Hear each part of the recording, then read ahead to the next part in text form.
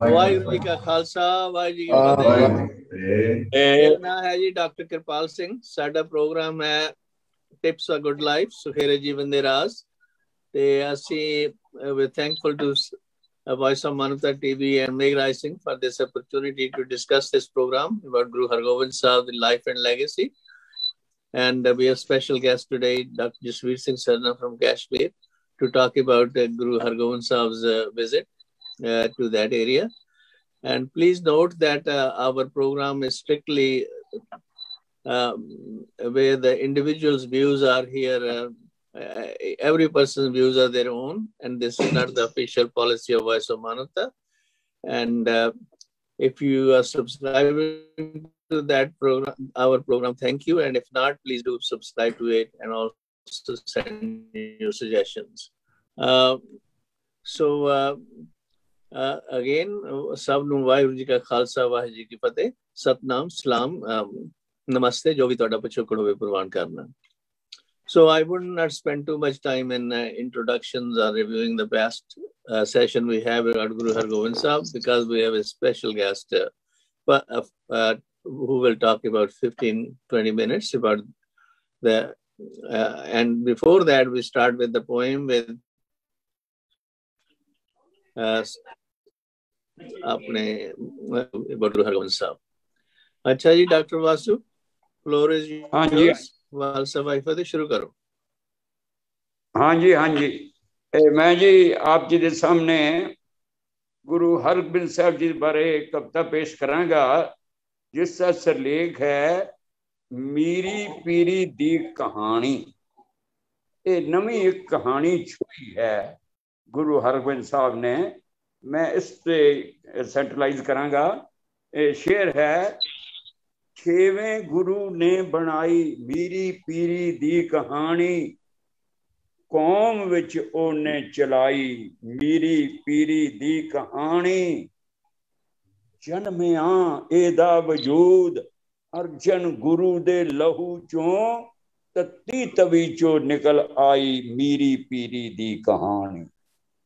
ਨਜ਼ਰ ਮੈਲੀ ਬੈਰੀਆਂ ਦੀ ਹੁਸਨ ਹਿੰਦ ਦਾ ਖਾ ਗਈ।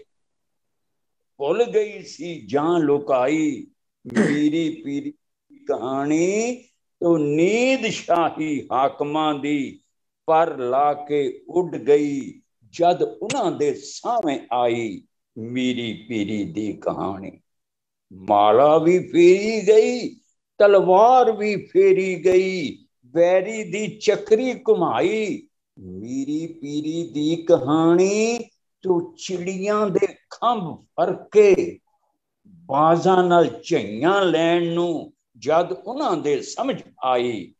ਮੀਰੀ ਪੀਰੀ ਦੀ ਕਹਾਣੀ, ਤੇ ਤਾਰੀਖ ਨੂੰ ਜਿਸ ਮੋੜਿਆ ਇਤਿਹਾਸ ਨੂੰ ਜਿਸ ਬਦਲਿਆ ਕ੍ਰਾਂਤੀਆਂ ਨੂੰ ਲੈ ਕੇ ਆਈ। ਮੇਰੀ ਪੀਰੀ ਦੀ ਕਹਾਣੀ ਦੁੱਖਾਂ ਦੀ ਦਲਦਲ ਦੇ ਵਿੱਚੋਂ ਦੇਸ਼ ਨੂੰ ਜਿਸ ਕੱਢਿਆ ਹੈ, ਉਹ ਹੀ ਵਰ ਇਲਾਹੀ। ਮੇਰੀ ਪੀਰੀ ਦੀ ਕਹਾਣੀ ਵੀਰਤਾ ਬਹਾਦਰੀ ਤੇ ਸੱਚ ਦੀ ਇਹ ਤਖਤਰੀ, ਅਣਖ ਹੈ ਜਿਸ ਵਿੱਚ ਸਜਾਈ। ਮੇਰੀ ਪੀਰੀ ਦੀ ਕਹਾਣੀ, ਖਿੱਚ ਕੇ ਖੰਜਰ ਗੁਰੂ ਖੰਡੇ ਦੀ ਖੜਕਾਰ ਵਿੱਚ, ਖਿੱਚ ਕੇ ਖੰਜਰ ਗੁਰੂ ਖੰਡੇ ਦੀ ਖੜਕਾਰ ਵਿੱਚ ਆਹੂ ਵੈਰੀ ਲਾ ਸੁਣਾਈ। ਮੀਰੀ ਪੀਰੀ ਦੀ ਕਹਾਣੀ, ਚੀਰ ਦੀ ਜੋ ਛੋਪਲੇ ਕਹਿਰੀ ਘਟਾਵਾਂ ਕਾਲੀਆਂ, ਸ਼ਕਤੀਆਂ ਦੀ ਕਿਰਨ ਆਹੀ। ਮੇਰੀ ਪੀਰੀ ਦੀ ਕਹਾਣੀ ਤੋਂ ਸ਼ੇਰ ਹੈ ਕਿ ਤੇਜ਼ ਹੈ, ਚਮਕਾਰ ਹੈ, ਇਹ ਬਾਦਸ਼ਾਹੀਆਂ ਵਾਲੜਾ ਤੇ ਫਕੀਰਾਂ ਦੀ ਕਮਾਈ।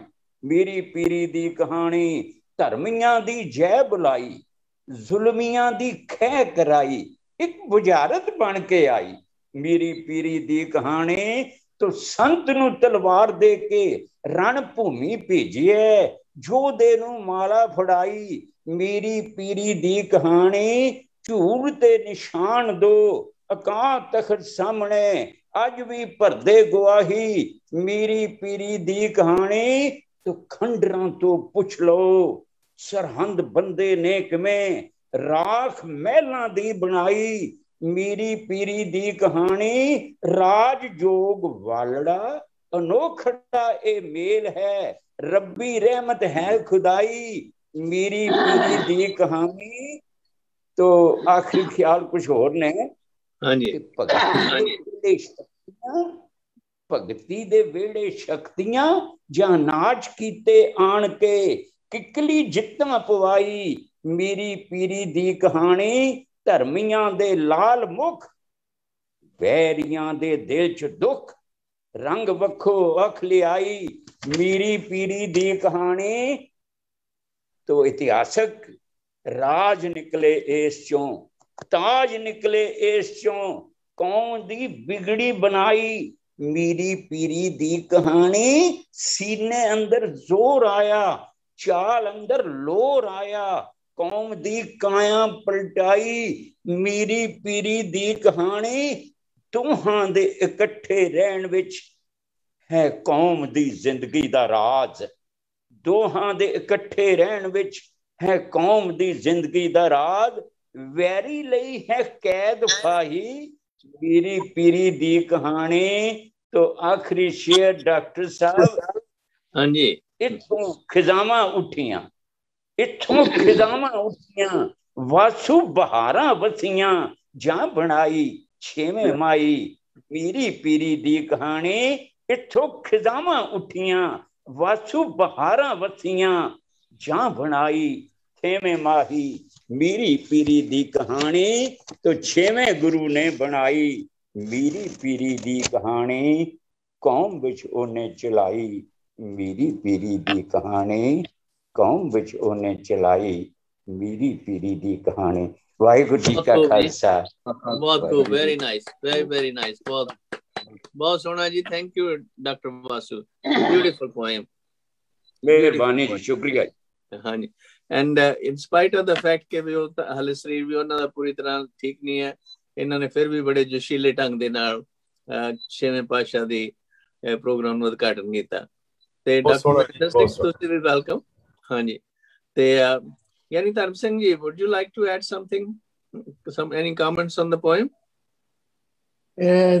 ਤਕਰੀਬਨ ਇਹਨਾਂ ਨੇ ਸਾਰੇ ਪੱਖਾਂ ਤੋਂ ਹੀ ਉਹਦੇ ਵਿੱਚ ਜ਼ਿਕਰ ਕਰ ਦਿੱਤਾ। ਕਵਿਤਾ ਚ ਬਹੁਤ ਪਿਆਰੀ ਕਵਿਤਾ ਇਹਨਾਂ ਸੁਣਾਈਆਂ।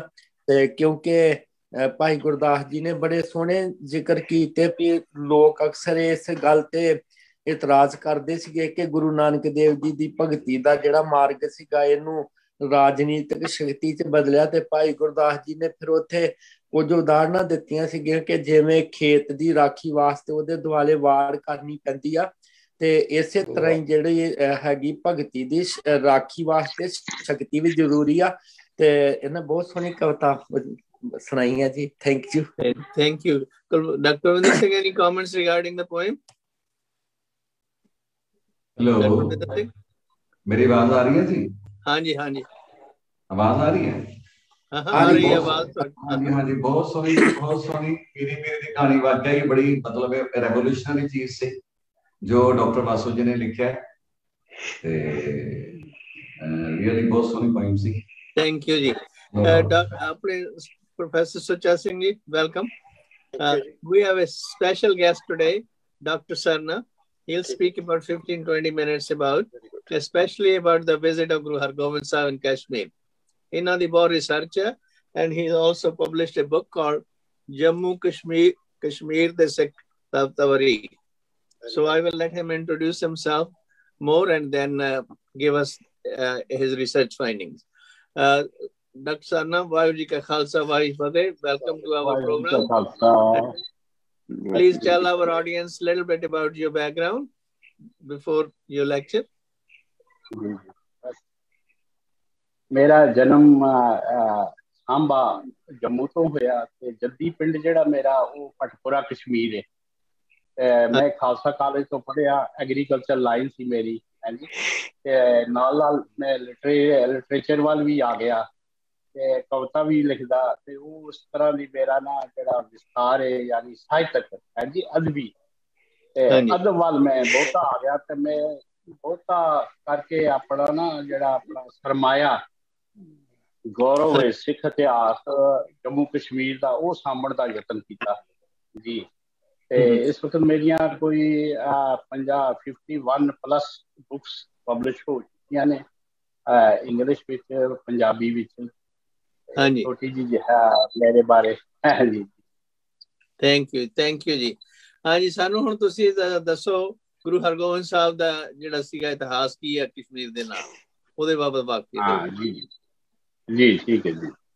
ਆ ਮੇਰਾ ਜਿਹੜਾ ਅੱਜ ਟਾਪਿਕ ਹੈ ਉਹ ਹੈ ਗੁਰੂ ਹਰਗੋਬਿੰਦ ਸਾਹਿਬ ਅਤੇ ਕਸ਼ਮੀਰ ਦੀ ਫੇਰੀ ਹੈ ਜੀ? ਹਾਂਜੀ। ਭਾਈ ਨੰਦ ਲਾਲ ਗੋਇਆ ਨੇ ਕਸ਼ਮੀਰ ਆ ਭਾਈ ਨੰਦ ਲਾਲ ਗੋਇਆ ਨੇ ਗੁਰੂ ਹਰਗੋਬਿੰਦ ਸਾਹਿਬ ਦੀ ਤਸਵੀਰ ਕਸ਼ੀ। ਖਿੱਚਦਿਆਂ ਲਿਖਿਆ ਹੈ ਕਿ ਗੁਰੂ ਜੀ ਸੱਚਮੁੱਚ ਪਵਿੱਤਰ ਲਿਸ਼ਕਾਂ ਅਤੇ ਰੋਸ਼ਨੀਆਂ ਦੇ ਪ੍ਰਤੱਖ ਹਨ। ਉਹ ਦਰਵੇਸ਼ੀ ਅਤੇ ਬਾਦਸ਼ਾਹੀ ਕਰਕੇ ਪ੍ਰਸਿੱਧ ਹਨ ਅਤੇ ਛੋਟੇ ਵੱਡੇ ਅਤੇ ਛੋਟੇ ਵੱਡੇ ਉਹਨਾਂ ਦੇ ਹੁਕਮ ਵਿੱਚ ਹਨ। ਉਹਨਾਂ ਦੇ ਨੂਰ ਨਾਲ ਦੋਵੇਂ ਜਹਾਨ ਰੋਸ਼ਨ ਅਤੇ ਉਹਨਾਂ ਦੇ ਦਰਸ਼ਨਾਂ ਦੀ ਮਿਹਰ ਦੇ ਸਾਰੇ ਪਿਆਸੇ ਹਨ। ਹਮ ਉਹਨਾਂ ਦੇ ਮੂਲ ਸ਼ਬਦ ਜੋ ਹਨ ਫਾਰਸੀ ਦੇ ਭਾਈ ਨੰਦ ਲਾਲ ਗੋਇਆ ਜੀ ਦੇ। ਹਮ ਅਜ਼ ਫੁਕਰੋ ਹਮ ਸਲਤਨਤ ਨਾਮਵਰ ਬਾ ਫਰਮਾਨਿਓ ਜ਼ੁਮਲਾ ਜ਼ਹਿਰੋ ਜ਼ਬਰ। ਦੋ ਆਲਮ ਮਨਵਰ ਦੀ ਅਨਵਰ ਹੂ। ਅਮਾ ਤਿਸ਼ਨਾਏ ਫੈਜ਼ ਦੀਦਾਰੀ ਗੁਰੂ ਹਰਗੋਬਿੰਦ ਸਾਹਿਬ ਗਵਾਲੀਅਰ ਕਿਲੇ ਦੀ ਰਿਹਾਈ ਤੋਂ ਬਾਅਦ ਗੁਰੂ ਨਾਨਕ ਸਾਹਿਬ ਦੀ ਵਿਚਾਰਧਾਰਾ ਨੂੰ ਦੂਰ ਦਰਾਡੇ ਇਲਾਕਿਆਂ ਵਿੱਚ ਪ੍ਰਚਾਰਨ ਅਤੇ ਦ੍ਰਿੜ ਕਰਾਉਣ ਵੱਲ ਖਾਸ ਅਹਿਮੀਅਤ ਦਿੱਤੀ। ਗਵਾਲੀਅਰ ਕਿਲੇ ਤੋਂ ਗੁਰੂ ਹਰਗੋਬਿੰਦ ਸਾਹਿਬ ਦੀ ਰਿਹਾਈ 1619 ਈਸਵੀ ਵਿੱਚ ਹੋਈ ਸੀ ਜਿਸ ਦੀ ਗਵਾਹੀ ਪਟਵਾਈ ਤਲੌਂਡਾ ਪਰਗਾਣਾ ਜੀਲ ਵਿੱਚ ਅੰਕਿਤ ਹੈ ਗੁਰੂ ਹਰਗੋਬਿੰਦ ਜੀ महल छठा बेटा गुरु अर्जन जी का सोडी खतरी चक गुरु का परगाना निजराला सम्मत सोलह से छतरे कतक आसे कृष्णा पखे चौदस के दियो गुरु जी बावन राजों के गैर गढ़ ग्वारियर से बंधन मुक्त हुए ये पटवाई दी सोर्सेस हैं सोलह सौ उन्नीस ईस्वी तो बाद ਗੁਰੂ ਹਰਗੋਬਿੰਦ ਸਾਹਿਬ ਦੇ ਬਾਦਸ਼ਾਹ ਜਹਾਂਗੀਰ ਨਾਲ ਦੋਸਤਾਨਾ ਸਬੰਧ ਹੋ ਗਏ ਸਨ ਜਿਸ ਦੀ ਗਵਾਹੀ ਸ੍ਰੀ ਗੁਰੂ Panth Prakash Giani Gian Singh history of the Sikhs Cunningham the Sikh review Calcutta Bhai Vir Singh ਆਦ ਲਿਖਤਾਂ ਵਿੱਚ ਦਰਜ ਹੈ ਇਸ ਤਰ੍ਹਾਂ ਗੁਰੂ ਹਰਗੋਬਿੰਦ ਸਾਹਿਬ ਅਤੇ ਬਾਦਸ਼ਾਹ ਜਹਾਂਗੀਰ ਕਸ਼ਮੀਰ ਵੱਲ ਇਕੱਠੇ ਘੋੜਿਆਂ ਤੇ ਸਫ਼ਰ ਹੋ ਕੇ ਗਏ, ਸਵਾਰ ਹੋ ਕੇ ਗਏ। ਜਹਾਂਗੀਰ ਕਸ਼ਮੀਰ ਕੋ ਸੈਰ ਹੇਤ ਪਿਆਨ, ਗੁਰੂ ਕੋ ਲੀਨੋ ਸੰਗ ਨਿਜ ਕਰ ਸਤਕਾਰ ਮਹਾਨ, ਸ੍ਰੀ ਗੁਰੂ ਪੰਥ ਪ੍ਰਕਾਸ਼। ਗੁਰੂ ਹਰਗੋਬਿੰਦ ਸਾਹਿਬ ਜਹਾਂਗੀਰ ਬਾਦਸ਼ਾਹ ਨਾਲ 1620 ਈਸਵੀ ਨੂੰ ਤੇਜ਼ ਰਫ਼ਤਾਰ ਨੀਲੇ ਘੋੜੇ ਤੇ ਸਵਾਰ ਹੋ ਕੇ ਸਿਆਲਕੋਟ ਗਲੋਟੀਆਂ, ਵਜ਼ੀਰਾਬਾਦ, ਮੀਰਪੁਰ, ਢਿੰਬਰ, ਬਹਿਰਾਮ ਰਾਈ ਛੁਪਈਆਂ ਕਸ਼ਮੀਰ ਪੁੱਜੇ ਸਨ। ਮੀਰਪੁਰ ਵਿੱਚ ਹੀ ਗੁਰੂ ਸਾਹਿਬ ਦੇ ਦਰਸ਼ਨਾਂ ਲਈ ਵੀਰੂ ਦਰ ਜਿਸ ਨੂੰ ਵੀਰਮ ਸ਼ਾਹ ਵੀ ਕਹਿੰਦੇ ਹਨ, ਬ੍ਰਾਹਮਣ ਨੂੰ ਸਿੱਖੀ ਦਾ ਉਪਦੇਸ਼ ਦੇ ਕੇ ਸਿੱਖੀ ਧਾਰਨ ਕਰਾਈ। ਬਹੁਤ ਸਾਰੇ ਦੱਤ ਘਰਾਣੇ ਦੇ ਲੋਕ ਪੁਣਛ ਤੱਕ ਗੁਰੂ ਜੀ ਨਾਲ ਆਏ ਸਨ। ਵੀਰਮ ਸ਼ਾਹ ਤੋਂ ਬਾਅਦ ਗੁਰੂ ਜੀ ਨੇ ਕੈਣ ਪਿੰਡ ਦੇ ਝੰਗੜ ਬ੍ਰਾਹਮਣ ਨੂੰ ਸਿੱਖੀ ਦਾ ਦਾਨ ਬਖਸ਼ਿਆ ਸੀ। ਪਿੰਬਰ ਤੋਂ ਦੂਰ 10 ਮੀਲ ਤੇ ਸਮਾਣੀ ਪਿੰਡ ਦੇ ਭਾਈ ਮੂਲੇ ਨੂੰ ਗੁਰੂ ਸਾਹਿਬ ਦੀ ਸਿੱਖੀ ਧਾਰਨ ਕੀਤੀ। ਫਾਰਸੀ ਦੀ ਕਿਤਾਬ ਦਬਿਸਤਾਨ ਮਜ਼ਾਹਿਬ ਦਾ ਲੇਖਕ, ਇੱਕ ਝੰਡਾ ਨਾਮ ਦੇ ਸਿੱਖ ਬੈਰਾਮ ਪਹਾੜੀ ਇਲਾਕਿਆਂ ਦਾ ਵਾਕਫ ਹੋਣ ਕਾਰਨ ਗੁਰੂ ਜੀ ਨੂੰ ਜੰਗਲ ਆਦ ਵਿੱਚੋਂ ਰਾਹ ਦੱਸਦਾ ਰਿਹਾ। ਰਜੋਰੀ ਤੋਂ ਹੁੰਦੇ ਹੋਏ ਗੁਰੂ ਹਰਗੋਬਿੰਦ ਸਾਹਿਬ ਥਾਨਾ ਮੰਡੀ ਗੌਨ ਪੀਰ ਮਾਰਗ ਪਹੁੰਚੇ ਸਨ। ਗੁਰੂ ਜੀ ਦੇ ਨੀਲੇ ਘੋੜੇ ਦੇ ਪੈਰਾਂ ਦੇ ਨਿਸ਼ਾਨ ਅਜੇ ਤੱਕ ਇੱਕ ਲੰਮੀ ਪੱਥਰ ਦੀ ਸਿਲ ਤੇ ਮੌਜੂਦ ਹਨ। ਇੱਥੇ ਗੁਰੂ ਜੀ ਕਿਸੇ ਕਰਮਚੰਦ ਨਾਂ ਦੇ ਬ੍ਰਾਹਮਣ ਨੂੰ ਛੱਡ ਕੇ ਆਏ ਸੀ। ਕਾਫੀ ਸਮੇਂ ਬਾਅਦ ਜਦੋਂ ਬ੍ਰਾਹਮਣ ਕਿਤੇ ਚਲਾ ਗਿਆ, ਤਾਂ ਅੱਜ ਕੱਲ ਇੱਕ ਮੁਸਲਮਾਨ ਗੁਜਰ ਇਸ ਪੱਥਰ ਦੀ ਸਿਰ ਤੇ ਸਾਟਨ ਦੀ ਚਾਦਰ ਨਾਲ ਢੱਕ ਕੇ ਆਖਦਾ ਹੈ ਕਿ ਸਾਡਾ ਇੱਕ ਪੀਰ ਪੰਜਾਬ ਤੋਂ ਆ ਕੇ ਬੈਠਿਆ ਸੀ। ਪਹਾੜੀ ਲੋਕ ਇਸ ਥਾਂ ਪੈਸੇ ਸੁੱਟ ਕੇ ਮੁਰਾਦਾ ਮੰਗਦੇ ਆ ਅਲੀਆਬਾਦ ਸਾਏ ਕੋਲ ਗੁਰੂ ਜੀ ਨੇ ਬਰਛਾ ਮਾਰ ਕੇ ਪਾਣੀ ਦਾ ਚਸ਼ਮਾ ਕੱਢਿਆ ਸੀ ਜੋ ਅਜੇ ਤੱਕ ਮੌਜੂਦ ਹੈ। ਨੁਸ਼ਹਿਰਾ ਅਤੇ ਰਜੋਰੀ ਵਿੱਚ ਗੁਰੂ ਸਾਹਿਬ ਦੇ ਇਤਿਹਾਸਕ ਅਸਥਾਨ ਮੌਜੂਦ ਹਨ ਜੋ ਬਾਅਦ ਵਿੱਚ ਕਾਰ ਸੇਵਾ ਵਾਲੇ ਬਾਬਿਆਂ ਨੇ ਸੰਗਤਾਂ ਦੇ ਸਹਿਯੋਗ ਨਾਲ ਤਿਆਰ ਕੀਤੇ ਹਨ। ਅਲੀਆਬਾਦ ਸਰਾਇਬਾਦ ਗੁਰੂ ਜੀ ਕੱਟੂ ਸ਼ਾਹ ਦੀ ਜਗ੍ਹਾ ਤੇ ਜਾ ਉਤਰੇ। ਗੁਰੂ ਸਾਹਿਬ ਦੇ ਕਸ਼ਮੀਰ ਪੁੱਜਣ ਤੇ ਸੰਗਤਾਂ ਕਸ਼ਮੀਰੀ ਫਲ, ਸੇਬ ਅਤੇ ਤਾਜ਼ਾ ਮਾਖੀਓ ਸ਼ਹਿਦ ਲੈ ਕੇ ਜਾ ਰਹੇ ਸਨ। ਕੱਟੂ ਸ਼ਾਹ ਵੀ ਰਸਤੇ ਵਿੱਚ ਸੰਗਤਾਂ ਨੂੰ ਮਿਲਿਆ ਅਤੇ ਬਹੁਤੀ ਭੁੱਖ ਅਤੇ ਪਿਆਸ ਕਾਰਨ ਸੰਗਤਾਂ ਤੋਂ ਥੋੜੀ ਸ਼ਹਿਦ ਮੰਗੀ। ਪਰ ਸੰਗਤਾਂ ਨੇ ਇਹ ਕਹਿ ਕੇ ਇਨਕਾਰ ਕਰ ਦਿੱਤਾ ਅਸੀਂ ਸ਼ਹਿਦ ਗੁਰੂ ਸਾਹਿਬ ਵਾਸਤੇ ਲੈ ਜਾ ਰਹੇ ਹਾਂ ਇਹ ਝੂਠੀ ਨਹੀਂ ਕਰਦੀ। ਜਦੋਂ ਸੰਗਤਾਂ ਨੇ ਸ਼ਹਿਦ ਦੀਆਂ ਡੋਲੀਆਂ ਡੋਲੀਆਂ ਹੁੰਦੀਆਂ ਨੇ ਮਿੱਟੀ ਦੇ ਛੋਟੇ ਛੋਟੇ ਬਰਤਨ। ਹਾਂਜੀ। ਗੁਰੂ ਸਾਹਿਬ ਅੱਗੇ ਰੱਖੀਆਂ ਤਾਂ ਗੁਰੂ ਸਾਹਿਬ ਨੇ ਬਚਨ ਕੀਤਾ ਕਿ ਇਹਨਾਂ ਵਿੱਚ ਕੀ ਹੈ? ਸੰਗਤਾਂ ਨੇ ਕਿਹਾ ਸੱਚੇ ਪਾਤਸ਼ਾਹ ਤੁਹਾਡੇ ਵਾਸਤੇ ਤਾਜ਼ਾ ਮਾਖੀਓ ਸ਼ਹਿਦ ਲੈ ਕੇ ਆਏ ਹਾਂ। ਜਦੋਂ ਗੁਰੂ ਸਾਹਿਬ ਨੇ ਉਹਨਾਂ ਮਿੱਟੀ ਦੀਆਂ ਡੋਲੀਆਂ ਦੇ ਉੱਪਰੋਂ ਢੱਕਣ ਚੁੱਕੇ ਤਾਂ ਉਸ ਸ਼ਹਿਦ ਵਿੱਚ ਅਨੇਕਾਂ ਕੀੜੇ ਕੁਰਬਲ ਕੁਰਬਲ ਕਰ ਰਹੇ ਸਨ ਅਤੇ ਸ਼ਹਿਦ ਬਦਬੂ ਦੇ ਰਿਹਾ ਸੀ। ਗੁਰੂ ਸਾਹਿਬ ਨੇ ਬਚਨ ਕੀਤੇ ਜਦੋਂ ਅਸਾਂ ਤੁਹਾਨੂੰ ਮਾਖਿਓ ਮੰਗਿਆ ਸੀ ਉਦੋਂ ਤੁਸੀਂ ਦਿੱਤਾ ਨਹੀਂ। ਜਦੋਂ ਗੁਰੂ ਸਾਹਿਬ ਦੇ ਹੁਕਮ ਨਾਲ ਦੁਬਾਰਾ ਡੋਲੀਆਂ ਮਿੱਟੀ ਦੀਆਂ ਬਰਤਨਾਂ ਤੋਂ ਢੱਕਣ ਕੱਟੂ ਸ਼ਾਹ ਨੇ ਚੁੱਕੇ ਤਾਂ ਮਾਖਿਓ ਸਾਰਾ ਸਾਫ਼ ਹੋ ਗਿਆ ਸੀ।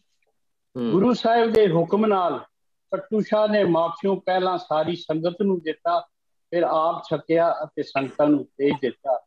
ਗੁਰੂ ਕੀ ਮੂੰਹ ਗੁਰੂ ਦਾ ਮੂੰਹ ਗੁਰੂ ਕੀ ਗੋਲਕ ਇਟਸ ਬਿਊਟੀਫੁਲ ਬੜਾ ਸੋਹਣਾ ਮੈਸੇਜ ਹੈ ਹਾਂ ਜਿੱਥੇ ਗੁਰੂ ਸਾਹਿਬ ਬੈਠੇ ਸਨ ਉੱਥੇ ਹੁਣ ਗੁਰਦੁਆਰਾ ਸ਼ਾਦੀ ਮਰਗ ਬਣਿਆ ਹੋਇਆ ਹੈ। ਗੁਰੂ ਸਾਹਿਬ ਨੇ ਆਪਣਾ ਘੋੜਾ ਚਨਾਰ ਦੇ ਦਰਖਤ ਦੇ ਤਣੇ ਨਾਲ ਬੰਨ ਦਿੱਤਾ ਅਤੇ ਆ ਵੀ ਚਨਾਰ ਦੀ ਛਾਂ ਬੈਠ ਗਏ। ਇਹ ਚਨਾਰ ਅੱਜ ਵੀ ਸੁਰੱਖਿਅਤ ਹੈ, ਕਟੂਸ਼ਾ ਦਾ ਪ੍ਰਸੰਗ ਸੂਰਜ ਪ੍ਰਕਾਸ਼ ਵਿੱਚ ਵੀ ਅੰਕਿਤ ਹੈ। ਕਟੂਸ਼ਾ ਨੇ ਗੁਰੂ ਹਰਗੋਬਿੰਦ ਸਾਹਿਬ ਦੇ ਦਰਸ਼ਨ ਅੰਮ੍ਰਿਤਸਰ ਜਾ ਕੇ ਪਹਿਲਾਂ ਵੀ ਕੀਤੇ ਸਨ। ਇਸ ਥਾਂ ਤੋਂ ਥੋੜੀ ਦੂਰੀ ਤੇ ਜਹਾਂਗੀਰ ਦੀ ਸਰਾਂ ਹੈ, ਜਿੱਥੇ ਉਹ ਪਰਿਵਾਰ ਸਮੇਤ ਠਹਿਰਿਆ ਸੀ। ਗੁਰਦੁਆਰੇ ਦੇ ਇੱਕ ਪਾਸੇ ਕਟੂਸ਼ਾ ਦੀ ਕਬਰ ਬਣੀ ਹੈ, ਇੱਥੋਂ ਗੁਰੂ ਸਾਹਿਬ ਖਾਨਪੁਰ ਸਰਾਂ ਪੁੱਜੇ ਸਨ ਜਿੱਥੇ ਹੁਣ ਇਤਿਹਾਸਕ ਗੁਰਦੁਆਰਾ ਤਿਆਰ ਹੋ ਚੁੱਕਾ ਹੈ। ਇੱਥੋਂ ਗੁਰੂ ਜੀ ਸਿੱਧੇ ਸ੍ਰੀਨਗਰ ਕਾਠੀ ਦਰਵਾਜ਼ੇ ਪੁੱਜੇ ਸਨ ਜਿੱਥੇ ਅੱਜਕੱਲ ਇਤਿਹਾਸਕ ਗੁਰਦੁਆਰਾ 6ਵੀਂ ਪਾਤਸ਼ਾਹੀ ਕਾਠੀ ਦਰਵਾਜ਼ਾ ਸ੍ਰੀਨਗਰ ਹੈ। ਇੱਥੇ ਹੀ ਸੇਵਾਦਾਸ ਦੀ ਬਿਰਧ ਮਾਤਾ ਮਾਤਾ ਭਾਗ ਪਰੀ ਦਾ ਹੱਥੀ ਸੂਤ ਕੱਟ ਕੇ ਬਣਾਇਆ ਹੋਇਆ ਚੋਲਾ ਸਵੀਕਾਰ ਕੀਤਾ। ਗੁਰੂ ਸਾਹਿਬ ਇੱਥੇ 13 ਦਿਨ ਠਹਿਰੇ ਸਨ। ਕੁਝ ਸਮਾਂ ਗੁਰੂ ਜੀ ਅਜੋਕੀ ਸ਼ਾਲਾਮਾਰ ਬਾਗ ਵਾਲੀ ਥਾਂ ਤੇ ਰਹੇ ਜਿੱਥੇ ਕਾਦਰ ਦੀ ਕੁਦਰਤ ਦਾ ਆਨੰਦ ਮਾਣਿਆ। ਨਿਸ਼ਾਦ ਬਾਗ ਜਹਾਂਗੀਰ ਬਾਦਸ਼ਾਹ ਦਾ ਪੱਕਾ ਕੈਂਪ ਸੀ। ਜਹਾਂਗੀਰ ਬਾਦਸ਼ਾਹ ਦੀ ਇਜਾਜ਼ਤ ਲੈ ਕੇ ਮਲਕਾ ਨੂਰ ਜਹਾਂ ਸ਼ਾਲੀਮਾਰ ਵਾਲੀ ਥਾਂ ਤੇ ਗੁਰੂ ਹਰਗੋਬਿੰਦ ਸਾਹਿਬ ਦੇ ਦਰਸ਼ਨਾਂ ਲਈ ਆਪਣੀਆਂ ਸੁਹੇਲੀਆਂ ਲੈ ਕੇ ਆਈ ਸੀ। ਇਹ ਦੱਸਣਾ ਜ਼ਰੂਰੀ ਹੈ ਕਿ ਮਲਕਾ ਨੂਰ ਜਹਾਨ ਗੁਰੂ ਹਰਗੋਬਿੰਦ ਸਾਹਿਬ ਨੂੰ ਦਿਲੀ ਪਿਆਰ ਕਰਦੀ ਸੀ। ਚੰਨ ਵਰਗੀ ਮਲਕਾ ਨੂਰ ਜਹਾਂ ਹਾਰ ਸ਼ਿੰਗਾਰ ਨਾਲ ਲਬਰੇਜ਼ ਹੋ ਕੇ ਪੈਰਾਂ ਵਿੱਚ ਝਾਂਜਰਾਂ ਪਾ ਕੇ ਗੁਰੂ ਸਾਹਿਬ ਦੇ ਪੈਰਾਂ ਵਿੱਚ ਜਾ ਕੇ ਦਸਤਕ ਦਿੱਤੀ। ਪਰ ਕਰੋੜਾਂ ਆਫਤਾਬਾਂ ਦੇ ਆਫਤਾਬ ਦੇ ਚੰਦ ਦੀ ਕੀ ਹੋਂਦ ਹੁੰਦੀ ਹੈ? ਝਾਂਜਰਾਂ ਦੀ ਆਵਾਜ਼ ਤੇ ਹਾਰ ਸ਼ਿੰਗਾਰ ਨੂੰ ਵੇਖ ਕੇ ਮੀਰੀ ਪੀਰੀ ਦੇ ਸੱਚੇ ਪਾਤਸ਼ਾਹ ਨੇ ਨੂਰ ਜਹਾਨ ਨੂੰ ਕਿਹਾ ਜੇ ਹਮੇਸ਼ਾ ਕਾਇਮ ਰਹਿਣ ਵਾਲੇ ਖੁਦਾ ਦੀ ਯਾਦ ਨੂੰ ਨਾ ਭੁੱਲਣ ਵਾਲਾ ਹਾਰ ਸ਼ਿੰਗਾਰ ਕਰ ਲਵੇਂ ਬੇਟੀ ਤੂੰ ਸੱਚਮੁੱਚ ਖੁਦਾ ਨੂੰ ਪਾ ਲਵੇਂ। ਐਸੋ ਸਾਥ ਸ਼ਿੰਗਾਰ ਕਰ ਪੁੱਤਰੀ ਪਾਏ ਖੁਦਾਏ। ਹਸੀਨ ਨੂਰ ਜਹਾਨ ਮਲਕਾ ਨੇ ਕਾਬੂ ਤੋਂ ਬਾਹਰ ਹੋ ਕੇ ਗੁਰੂ ਸਾਹਿਬ ਤੋਂ ਪੁੱਛ ਹੀ ਲਿਆ ਇਤਨਾ ਕਾਬੂ ਆਪਣੇ ਆਪ ਤੇ ਤੁਸੀਂ ਕਿਵੇਂ ਪਾਇਆ ਹੋਇਆ ਹੈ? ਗੁਰੂ ਸਾਹਿਬ ਨੇ ਮੁਖਾਤਬ ਹੋ ਕੇ ਕਿਹਾ ਮੌਤ ਕਦੇ ਭੁੱਲੀ ਨਹੀਂ ਤੇ ਖੁਦਾ ਦੀ ਯਾਦ ਕਦੇ ਛੁੱਟੀ ਨਹੀਂ। ਯਾਦ ਰਹੇ ਜਦੋਂ ਇਹ ਵਾਰਤਾਲਾਪ ਹੋ ਰਹੀ ਸੀ, ਉਦੋਂ ਨੂਰ ਜਹਾਨ ਦੀ ਸ਼ਰਤ ਮੁਤਾਬਕ ਉੱਥੇ ਕੋਈ ਹੋਰ ਬੰਦਾ ਹਾਜ਼ਰ ਨਹੀਂ ਸੀ। ਕਾਠੀ ਦਰਵਾਜ਼ੇ ਵਾਲੀ ਥਾਂ ਤੇ ਹੀ ਬੀਬੀ ਭਾਗਪਰੀ ਦਾ ਉਦਾਰ ਕੀਤਾ। ਇਹ ਬੀਬੀ ਕਸ਼ਮੀਰ ਵਿੱਚ ਸਿੱਖੀ ਪ੍ਰਚਾਰ ਲਈ ਗੁਰੂ ਅਮਰਦਾਸ ਜੀ ਦੇ ਸਮੇਂ ਨਿਯੁਕਤ ਕੀਤੀ ਗਈ ਸੀ। ਪੀੜੀਆਂ ਦੀ ਸਥਾਪਨਾ ਵੀ ਮੰਜੀਆਂ ਵਾਂਗ ਪੰਜਾਬ ਤੋਂ ਬਾਹਰ ਦੂਰ ਦਰਾਡੇ ਤੱਕ ਸੀ। ਗੁਰੂ ਹਰਗੋਬਿੰਦ ਸਾਹਿਬ, ਮੁਗਲ ਸ਼ਹਿਰ, ਹਰੀ ਪਰਬਤ ਕਿਲੇ ਦੀ ਫਸੀਲ ਦੇ ਬਾਹਰ, ਜਿਸ ਨੂੰ ਨਗਰ ਨਗਰਸ ਕਹਿੰਦੇ ਸਨ, ਉੱਥੇ ਬੈਠੇ ਸਨ। ਗੁਰੂ ਸਾਹਿਬ ਨੇ ਭਾਗਪਰੀ ਦੇ ਘਰ ਦੇ ਬਾਹਰ ਵਰਛਾ ਮਾਰ ਕੇ ਪਾਣੀ ਦਾ ਚਸ਼ਮਾ ਕੱਢਿਆ ਸੀ, ਜੋ ਅੱਜ ਵੀ ਠੰਡਾ, ਨਿਰਮਲ, ਮਿੱਠਾ ਜਲ ਦੇ ਰਿਹਾ ਹੈ। ਮਾਤਾ ਭਾਗਪਰੀ ਨੇ ਗੁਰੂ ਸਾਹਿਬ ਦੀ ਮੌਜੂਦਗੀ ਵਿੱਚ ਵੀ ਆਪਣੇ ਪ੍ਰਾਣ ਤਿਆਗੇ ਸਨ ਅਤੇ ਗੁਰੂ ਜੀ ਨੇ ਹੱਥੀ ਸੰਸਕਾਰ ਕੀਤਾ ਸੀ। ਗੁਰੂ ਸਾਹਿਬ ਕਸ਼ਮੀਰ ਕੁਝ ਮਹੀਨੇ ਠਹਿਰੇ। ਰੋਜ਼ ਸੰਗਤਾਂ ਦੇ ਦੀਵਾਨ ਸਜਦੇ ਸਨ ਅਤੇ ਗੁਰੂ ਨਾਨਕ ਘਰ ਦੀ ਵਿਚਾਰਧਾਰਾ ਨਾਲ ਲੋਕ ਪ੍ਰਮੁੱਖ ਹੋਏ ਗੁਰੂ ਸਾਹਿਬ ਨੇ ਅਨੇਕਾਂ ਪਤਾਂ ਨੂੰ ਜੋ ਮੁਸਲਮਾਨ ਕੀਤੇ ਗਏ ਸਨ, ਮੁੜ ਸ਼ੁੱਧ ਕਰਕੇ ਅਪੇਦ ਵਰਤਾਇਆ। ਗੁਰੂ ਸਾਹਿਬ ਨੇ ਮਾਤਾ ਭਾਗਪਰੀ ਦੇ ਸੁਪੁੱਤਰ ਭਾਈ ਸੇਵਾ ਦਾਸ ਨੂੰ ਸਿੱਖੀ ਪ੍ਰਚਾਰ ਦਾ ਮੁਖੀ ਥਾਪਿਆ।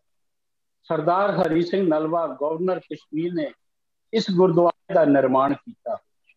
ਕਾਰ ਸੇਵਾ ਵਾਲੇ ਬਾਬਿਆਂ, ਬਾਬਾ ਹਰਬੰਸ ਸਿੰਘ ਦਿੱਲੀ ਨੇ ਇਸ ਗੁਰਦੁਆਰੇ ਦੀ ਨੌ ਸਾਰੀ ਸੰਗਤਾਂ ਦੇ ਸਹਿਯੋਗ ਨਾਲ ਇੱਥੇ ਗੁਰੂ ਸਾਹਿਬ ਬਾਰਾਮੂਲੇ ਪੁੱਜੇ ਅਤੇ ਜੇਲਮ ਦੇ ਸੱਜੇ ਕੰਢੇ ਚਟਾਨੀ ਪਹਾੜੀ ਦੇ ਦਾਮਨ ਵਿੱਚ ਬੈਠੇ ਜਿਸ ਨੂੰ ਉਸ ਸਮੇਂ ਕੋਟ ਤੀਰਥ ਕਰਕੇ ਜਾਣਿਆ ਜਾਂਦਾ ਸੀ। ਇੱਥੇ ਹੀ ਗੁਰੂ ਸਾਹਿਬ ਨੇ ਆਪਣੇ ਹੱਥੀ ਚਨਾਰ ਦਾ ਦਰਖਤ ਲਾਇਆ ਸੀ, ਜਿਸ ਦੀ ਗਵਾਹੀ ਮਹਾਨ ਕੋਸ਼ ਦਾ ਕਰਤਾ ਵੀ ਦਿੰਦਾ ਹੈ। ਇੱਥੇ ਗੁਰੂ ਜੀ ਕੁਝ ਦਿਨ ਠਹਿਰੇ ਅਤੇ ਗੁਰੂ ਨਾਨਕ ਦੇਵ ਜੀ ਦੀ ਵਿਚਾਰਧਾਰਾ ਦਾ ਪ੍ਰਚਾਰ ਕਰਦੇ ਰਹੇ। ਪੀੜ੍ਹੀਆਂ ਦਰ ਪੀੜ੍ਹੀਆਂ ਪੀੜ੍ਹੀਆਂ ਦਰ ਪੀੜ੍ਹੀਆਂ, ਇਹ ਰਵਾਇਤ ਵੀ ਪ੍ਰਚਲਿਤ ਹੈ ਕਿ ਜਦੋਂ ਗੁਰੂ ਸਾਹਿਬ ਬਾਰਾਮੂਲੇ ਠਹਿਰੇ ਸਨ, ਜਹਾਂਗੀਰ ਬਾਦਸ਼ਾਹ ਵੀ ਬਾਰਾਮੂਲੇ ਆਇਆ। ਇਥੋਂ ਦੇ ਸੰਗ ਤਰਾਸ਼ਾ ਨੇ ਬਾਦਸ਼ਾਹ ਲਈ ਇੱਕ ਖੂਬਸੂਰਤ ਪੱਥਰ ਦਾ ਤਖਤ ਭੇਟਾ ਕੀਤਾ, ਜਿਸ ਤੇ ਖੂਬਸੂਰਤ ਕਸ਼ਮੀਰੀ ਚਿੱਤਰਕਾਰੀ ਉਕਰੀ ਹੋਈ ਸੀ। ਬਾਦਸ਼ਾਹ ਜਹਾਂਗੀਰ ਨੇ ਇਹ ਤਖਤ ਆਪਣੇ ਵੱਲੋਂ ਮੀਰੀ ਪੀਰੀ ਦੇ ਮਾਲਕ ਗੁਰੂ ਹਰਗੋਬਿੰਦ ਸਾਹਿਬ ਨੂੰ ਭੇਟ ਕਰਕੇ ਖੁਸ਼ੀ ਪ੍ਰਾਪਤ ਕੀਤੀ। ਗੁਰੂ ਸਾਹਿਬ ਇਸੇ ਤਖਤ ਤੇ ਬਹਿ ਕੇ ਕਾਫੀ ਦਿਨ ਸਿੱਖੀ ਦਾ ਪ੍ਰਚਾਰ ਕਰਦੇ ਰਹੇ। ਇਹ ਤਖਤ ਟੁੱਟਿਆ ਹੋਇਆ ਅੱਜਕੱਲ ਇਹ ਪ੍ਰਕਾਸ਼ ਸਥਾਨ ਹੇਠਾਂ ਸ਼ੋਭਤ ਹੈ। 1985 ਵਿੱਚ ਚਨਾਰ ਹੇਠੋਂ ਕੱਢਿਆ ਗਿਆ ਸੀ। ਜਦੋਂ ਚਨਾਰ ਦੇ ਵੱਡੇ ਰੁੱਖ ਨੂੰ ਕੱਟਿਆ ਗਿਆ ਸੀ ਇਸ ਅਸੀਂ ਕਾਰ ਸੇਵਾ ਦੇ ਨਾਂ ਹੇਠ ਸਿੱਖੀ ਵਿਰਾਸਤ ਦੀ ਨਿਸ਼ਾਨੀਆਂ ਨੂੰ ਆਪੇ ਹੀ ਖਤਮ ਕਰਦੇ ਜਾ ਰਹੇ ਹਾਂ। ਇਸ ਤਖਤ ਦੇ ਆਸ-ਪਾਸ ਹੀ ਭਾਈ ਦਿਆ ਰਾਮ ਨੇ ਖੜਾ ਸਾਹਿਬ ਤਾਮੀਰ ਕੀਤਾ। ਭਾਈ ਸਾਹਿਬ ਤੋਂ ਬਾਅਦ ਭਾਈ ਲਾਲ ਚੰਦ ਭਾਈ ਜੱਸਾ ਸਿੰਘ ਅਤੇ ਭਾਈ ਗੁਰਦਿਆਲ ਸਿੰਘ ਬੜੀ ਸ਼ਰਧਾ ਨਾਲ ਸੇਵਾ ਕਰਦੇ ਰਹੇ। ਭਾਈ ਗੁਰਦਿਆਲ ਸਿੰਘ ਨੇ ਰਹਿਣ ਵਾਸਤੇ ਇੱਕ ਕੁਟਿਆ ਵੀ ਤਾਮੀਰ ਕੀਤਾ ਸੀ। ਬਾਰਾਮੂਲੇ ਤੋਂ ਗੁਰੂ ਸਾਹਿਬ ਕਾਨਸਪੁਰਾ ਵਾਲੀ ਥਾਂ ਤੇ ਸ਼ਿਕਾਰ ਕਰਨ ਜਾਂਦੇ ਸੀ। ਕਾਨਸਪੁਰਾ ਤੇ ਆਪਣਾ ਜਿਹੜਾ ਕਲਮਪੁਰਾ ਜਿਹਨੂੰ ਕਹਿੰਦੇ ਜਿੱਥੇ ਇਤਿਹਾਸਕ ਸਥਾਨ ਹੈ ਇਹ ਪੂਰਾ ਜੰਗਲ ਦਾ ਏਰੀਆ ਸੀ।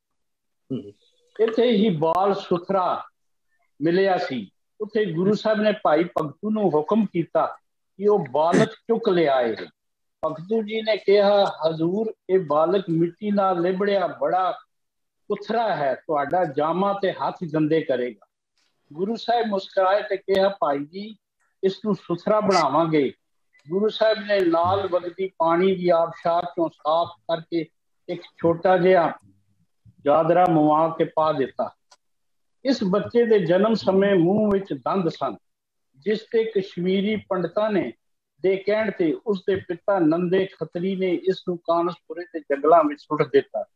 ਜਦੋਂ ਗੁਰੂ ਸਾਹਿਬ ਸ਼ਿਕਾਰ ਤੋਂ ਬਾਅਦ ਸ਼ਾਮ ਬਾਰਾਮੂਲੇ ਆਏ ਤਾਂ ਨੰਦੇ ਸ਼ਾਹ ਖੱਤਰੀ ਨੇ ਗੁਰੂ ਸਾਹਿਬ ਕੋਲੋਂ ਮਾਫੀ ਮੰਗੀ। ਪਰ ਗੁਰੂ ਸਾਹਿਬ ਨੇ ਸੁਥਰਾ ਆਪਣੇ ਸਿੱਖਾਂ ਕੋਲ ਹੀ ਰੱਖਿਆ। ਇਹ ਬਾਅਦ ਵਿੱਚ ਬੜਾ ਬੇਪਰਵਾਹ ਮਖੋਲੀਆ ਤੇ ਟਿਚਰਬਾਜ਼ ਹੋਇਆ ਤੇ ਪੰਜਾਬੀ ਦਾ ਪ੍ਰਸਿੱਧ ਕਵੀ ਵੀ ਇੱਕ ਲੋਕ ਕਥਾ ਬੜੀ ਪ੍ਰਸਿੱਧ ਹੈ। ਇਸ ਜਗ੍ਹਾ ਤੇ ਇੱਕ ਫਕੀਰ ਬਲੋਲ ਅਤੇ ਉਸ ਦੇ ਸਾਥੀ ਗੁਰੂ ਸਾਹਿਬ ਨੂੰ ਮਿਲੇ ਸਨ। ਗੁਰੂ ਜੀ ਨੇ ਰੋਹਾਨੀ ਵਿਚਾਰਾਂ ਤੋਂ ਬੜੇ ਪ੍ਰਭਾਵਿਤ ਹੋਏ। ਗੁਰੂ ਸਾਹਿਬ ਦੇ ਜਾਣ ਮਗਰੋਂ ਫਕੀਰ ਬਲੋਲ ਤੇ ਉਸ ਦੇ ਮਰੀਦ ਇਸ ਥਾਂ ਤੇ ਦੀਵੇ ਬਾਲਦੇ ਰਹੇ। ਇੱਥੇ ਪਾਣੀ ਦੀ ਬੜੀ ਘਾਟ ਸੀ। ਸੰਗਤਾਂ ਦੀ ਬੇਨਤੀ ਤੇ ਗੁਰੂ ਸਾਹਿਬ ਨੇ ਬੱਚਾ ਮਾਰਿਆ ਤਾਂ ਜਦੋਂ ਸੰਗਤਾਂ ਨੇ ਥਾਂ ਪੁੱਟੀ ਤਾਂ ਹੇਠੋਂ ਪੱਕਾ ਪ੍ਰਾਤਨ ਖੂਹ ਨਿਕਲ ਆਇਆ ਇਸ ਖੂਹ ਦਾ ਮਿੱਠਾ ਠੰਡਾ ਜਲ ਸਿੱਖਾਂ ਤੋਂ ਇਲਾਵਾ ਮੁਸਲਮਾਨ ਪਿੰਡ ਵਾਲੇ ਪੀਣ ਲਈ ਅੱਜ ਕੱਲ ਇਸਤੇਮਾਲ ਕਰਦੇ ਆ ਮਹਾਰਾਜਾ ਰਣਜੀਤ ਸਿੰਘ ਦੇ ਸਮੇਂ ਜਦ ਤੋਂ ਬਹੁਤੇ ਸਿੰਘ ਪੰਜਾਬ ਤੋਂ ਆ ਕੇ ਕਸ਼ਮੀਰ ਵਸੇ ਤਾਂ ਬਹੁਤੇ ਸਿੰਘ ਇਸ ਖੜੇ ਕੋਲ ਆ ਕੇ ਮੱਥਾ ਟੇਕਦੇ ਨਤਮਸਤਕ ਹੁੰਦੇ ਬਾਅਦ ਵਿੱਚ ਚੀਫ ਖਾਲਸਾ ਦੀਵਾਨ ਦੇ ਚਿੰਤਕਾਂ ਭਾਈ ਵੀਰ ਸਿੰਘ ਆਦ ਨੇ ਇੱਥੇ ਗੁਰਦੁਆਰੇ ਦੀ ਉਸਾਰੀ ਕੀਤੀ। ਅੱਜ ਕੱਲ ਕਾਰ ਸੇਵਾ ਵਾਲੇ ਬਾਬਿਆਂ ਨੇ ਸ਼ਾਨਦਾਰ ਗੁਰਦੁਆਰਾ ਇਤਿਹਾਸਕ ਉਸਾਰ ਦਿੱਤਾ ਹੈ। ਬਾਰਾਮੂਲੇ ਤੋਂ ਬਾਅਦ ਗੁਰੂ ਸਾਹਿਬ ਪਿੰਡ ਖਾਤ ਨਿਆਰ ਪੀਰਨੀਆਂ ਆ ਤੋਂ ਹੁੰਦੇ ਹੋਏ ਉਸ ਥਾਂ ਬੈਠੇ, ਜਿਸ ਨੂੰ ਸੁਲਤਾਨ ਟੱਕੀ ਆਖਦੇ ਹਨ। ਹੁਣ ਇੱਥੇ ਗੁਰਦੁਆਰਾ ਸਾਹਿਬ ਸ਼ਿਸ਼ੋਭਤ ਹੈ, ਜਿਸ ਨੂੰ ਗੁਰਦੁਆਰਾ ਪਰਮਪੀਲਾ ਆਖਦੇ ਹਨ। ਇਹ ਊੜੀ ਊੜੀ ਤਹਿਸੀਲ ਉਸ ਵਿੱਚ ਆਉਂਦਾ ਹੈ। ਇਸ ਇਤਿਹਾਸਕ ਗੁਰਦੁਆਰੇ ਵਿੱਚ ਉਹ ਇਤਿਹਾਸਕ ਪੱਥਰ ਦੀ ਸਿਲ ਮੌਜੂਦ ਹੈ, ਜਿਸ ਤੇ ਬਹਿ ਕੇ ਗੁਰੂ ਸਾਹਿਬ ਅਤੇ ਪੰਜ ਮੁਸਲਮਾਨ ਪੀਰਾਂ ਧਰਮਕ ਵਿਚਾਰਾਂ ਕੀਤੀਆਂ ਸਨ। ਇਹ ਪੀਰ ਸਨ ਪੀਰ ਗੁਲਸ਼ੇਰ, ਪੀਰ ਭੋਲ ਭੋਰ ਸੁਲਤਾਨ, ਪੀਰ ਰੰਗੀ ਅਮਾਮ ਪੀਰ ਨੂਰ ਨਿਹਾਲ ਅਤੇ ਪੀਰ ਉਬਦੁਲ ਗਫੂਰ। ਇਹਨਾਂ ਪੰਜ ਪੀਰਾਂ ਨੇ ਆਪਣੀਆਂ ਕਰਾਮਾਤਾਂ ਰਾਹੀਂ ਗੁਰੂ ਸਾਹਿਬ ਨੂੰ ਸਿਲ ਤੋਂ ਹੇਠਾਂ ਸੁੱਟਣ ਦੀ ਕੋਸ਼ਿਸ਼ ਕੀਤੀ, ਪਰ ਕਾਮਯਾਬ ਨਾ ਹੋ ਸਕੇ। ਗੁਰੂ ਉਹਨਾਂ ਵਿੱਚੋਂ ਦੋਹਾਂ ਪੀਰਾਂ ਨੇ ਗੁਰੂ ਸਾਹਿਬ ਨਾਲ ਕਬੂਲ ਬਚਨ ਬੋਲੇ। ਗੁਰੂ ਸਾਹਿਬ ਨੇ ਪੀਰਾਂ ਨੂੰ ਕਿਹਾ ਅੱਲਾ ਦੇ ਬੰਦੇ ਅਜਿਹੇ ਬਚਨ ਨਹੀਂ ਬੋਲਦੇ। ਨਾ ਅਸਮਾਨ ਅਤੇ ਨਾ ਹੀ ਧਰਤੀ ਉਹਨਾਂ ਨੂੰ ਥਾਂ ਦਿੰਦੀ ਹੈ। ਕੁਦਰਤ ਦੀ ਬਿਜਲੀ ਤੋਂ ਵੀ ਉਹ ਬਚ ਨਹੀਂ ਸਕਦੇ। ਗੁਰੂ ਸਾਹਿਬ ਨਾਲ ਕਬੂਲ ਬਚਨ ਬੋਲਣ ਵਾਲਿਆਂ ਵਿੱਚ ਪੀਰ ਉਬਦਲ ਗਫੂਰ ਅਤੇ ਪੀਰ ਰੰਗੀ ਇਮਾਮ ਨੇ ਪਹਿਲ ਕੀਤੀ ਸੀ।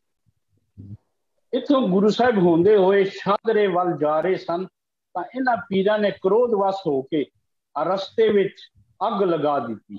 ਜਦੋਂ ਗੁਰੂ ਸਾਹਿਬ ਘੋੜੇ ਤੇ ਜਾ ਰਹੇ ਸੀ, ਅੱਗੇ ਅੱਗ ਲਾ ਜਿਵੇਂ ਗੁਰੂ ਸਾਹਿਬ ਦਾ ਘੋੜਾ ਲੰਘਦਾ ਗਿਆ, ਅੱਗ ਸ਼ਾਂਤ ਹੁੰਦੀ ਗਈ।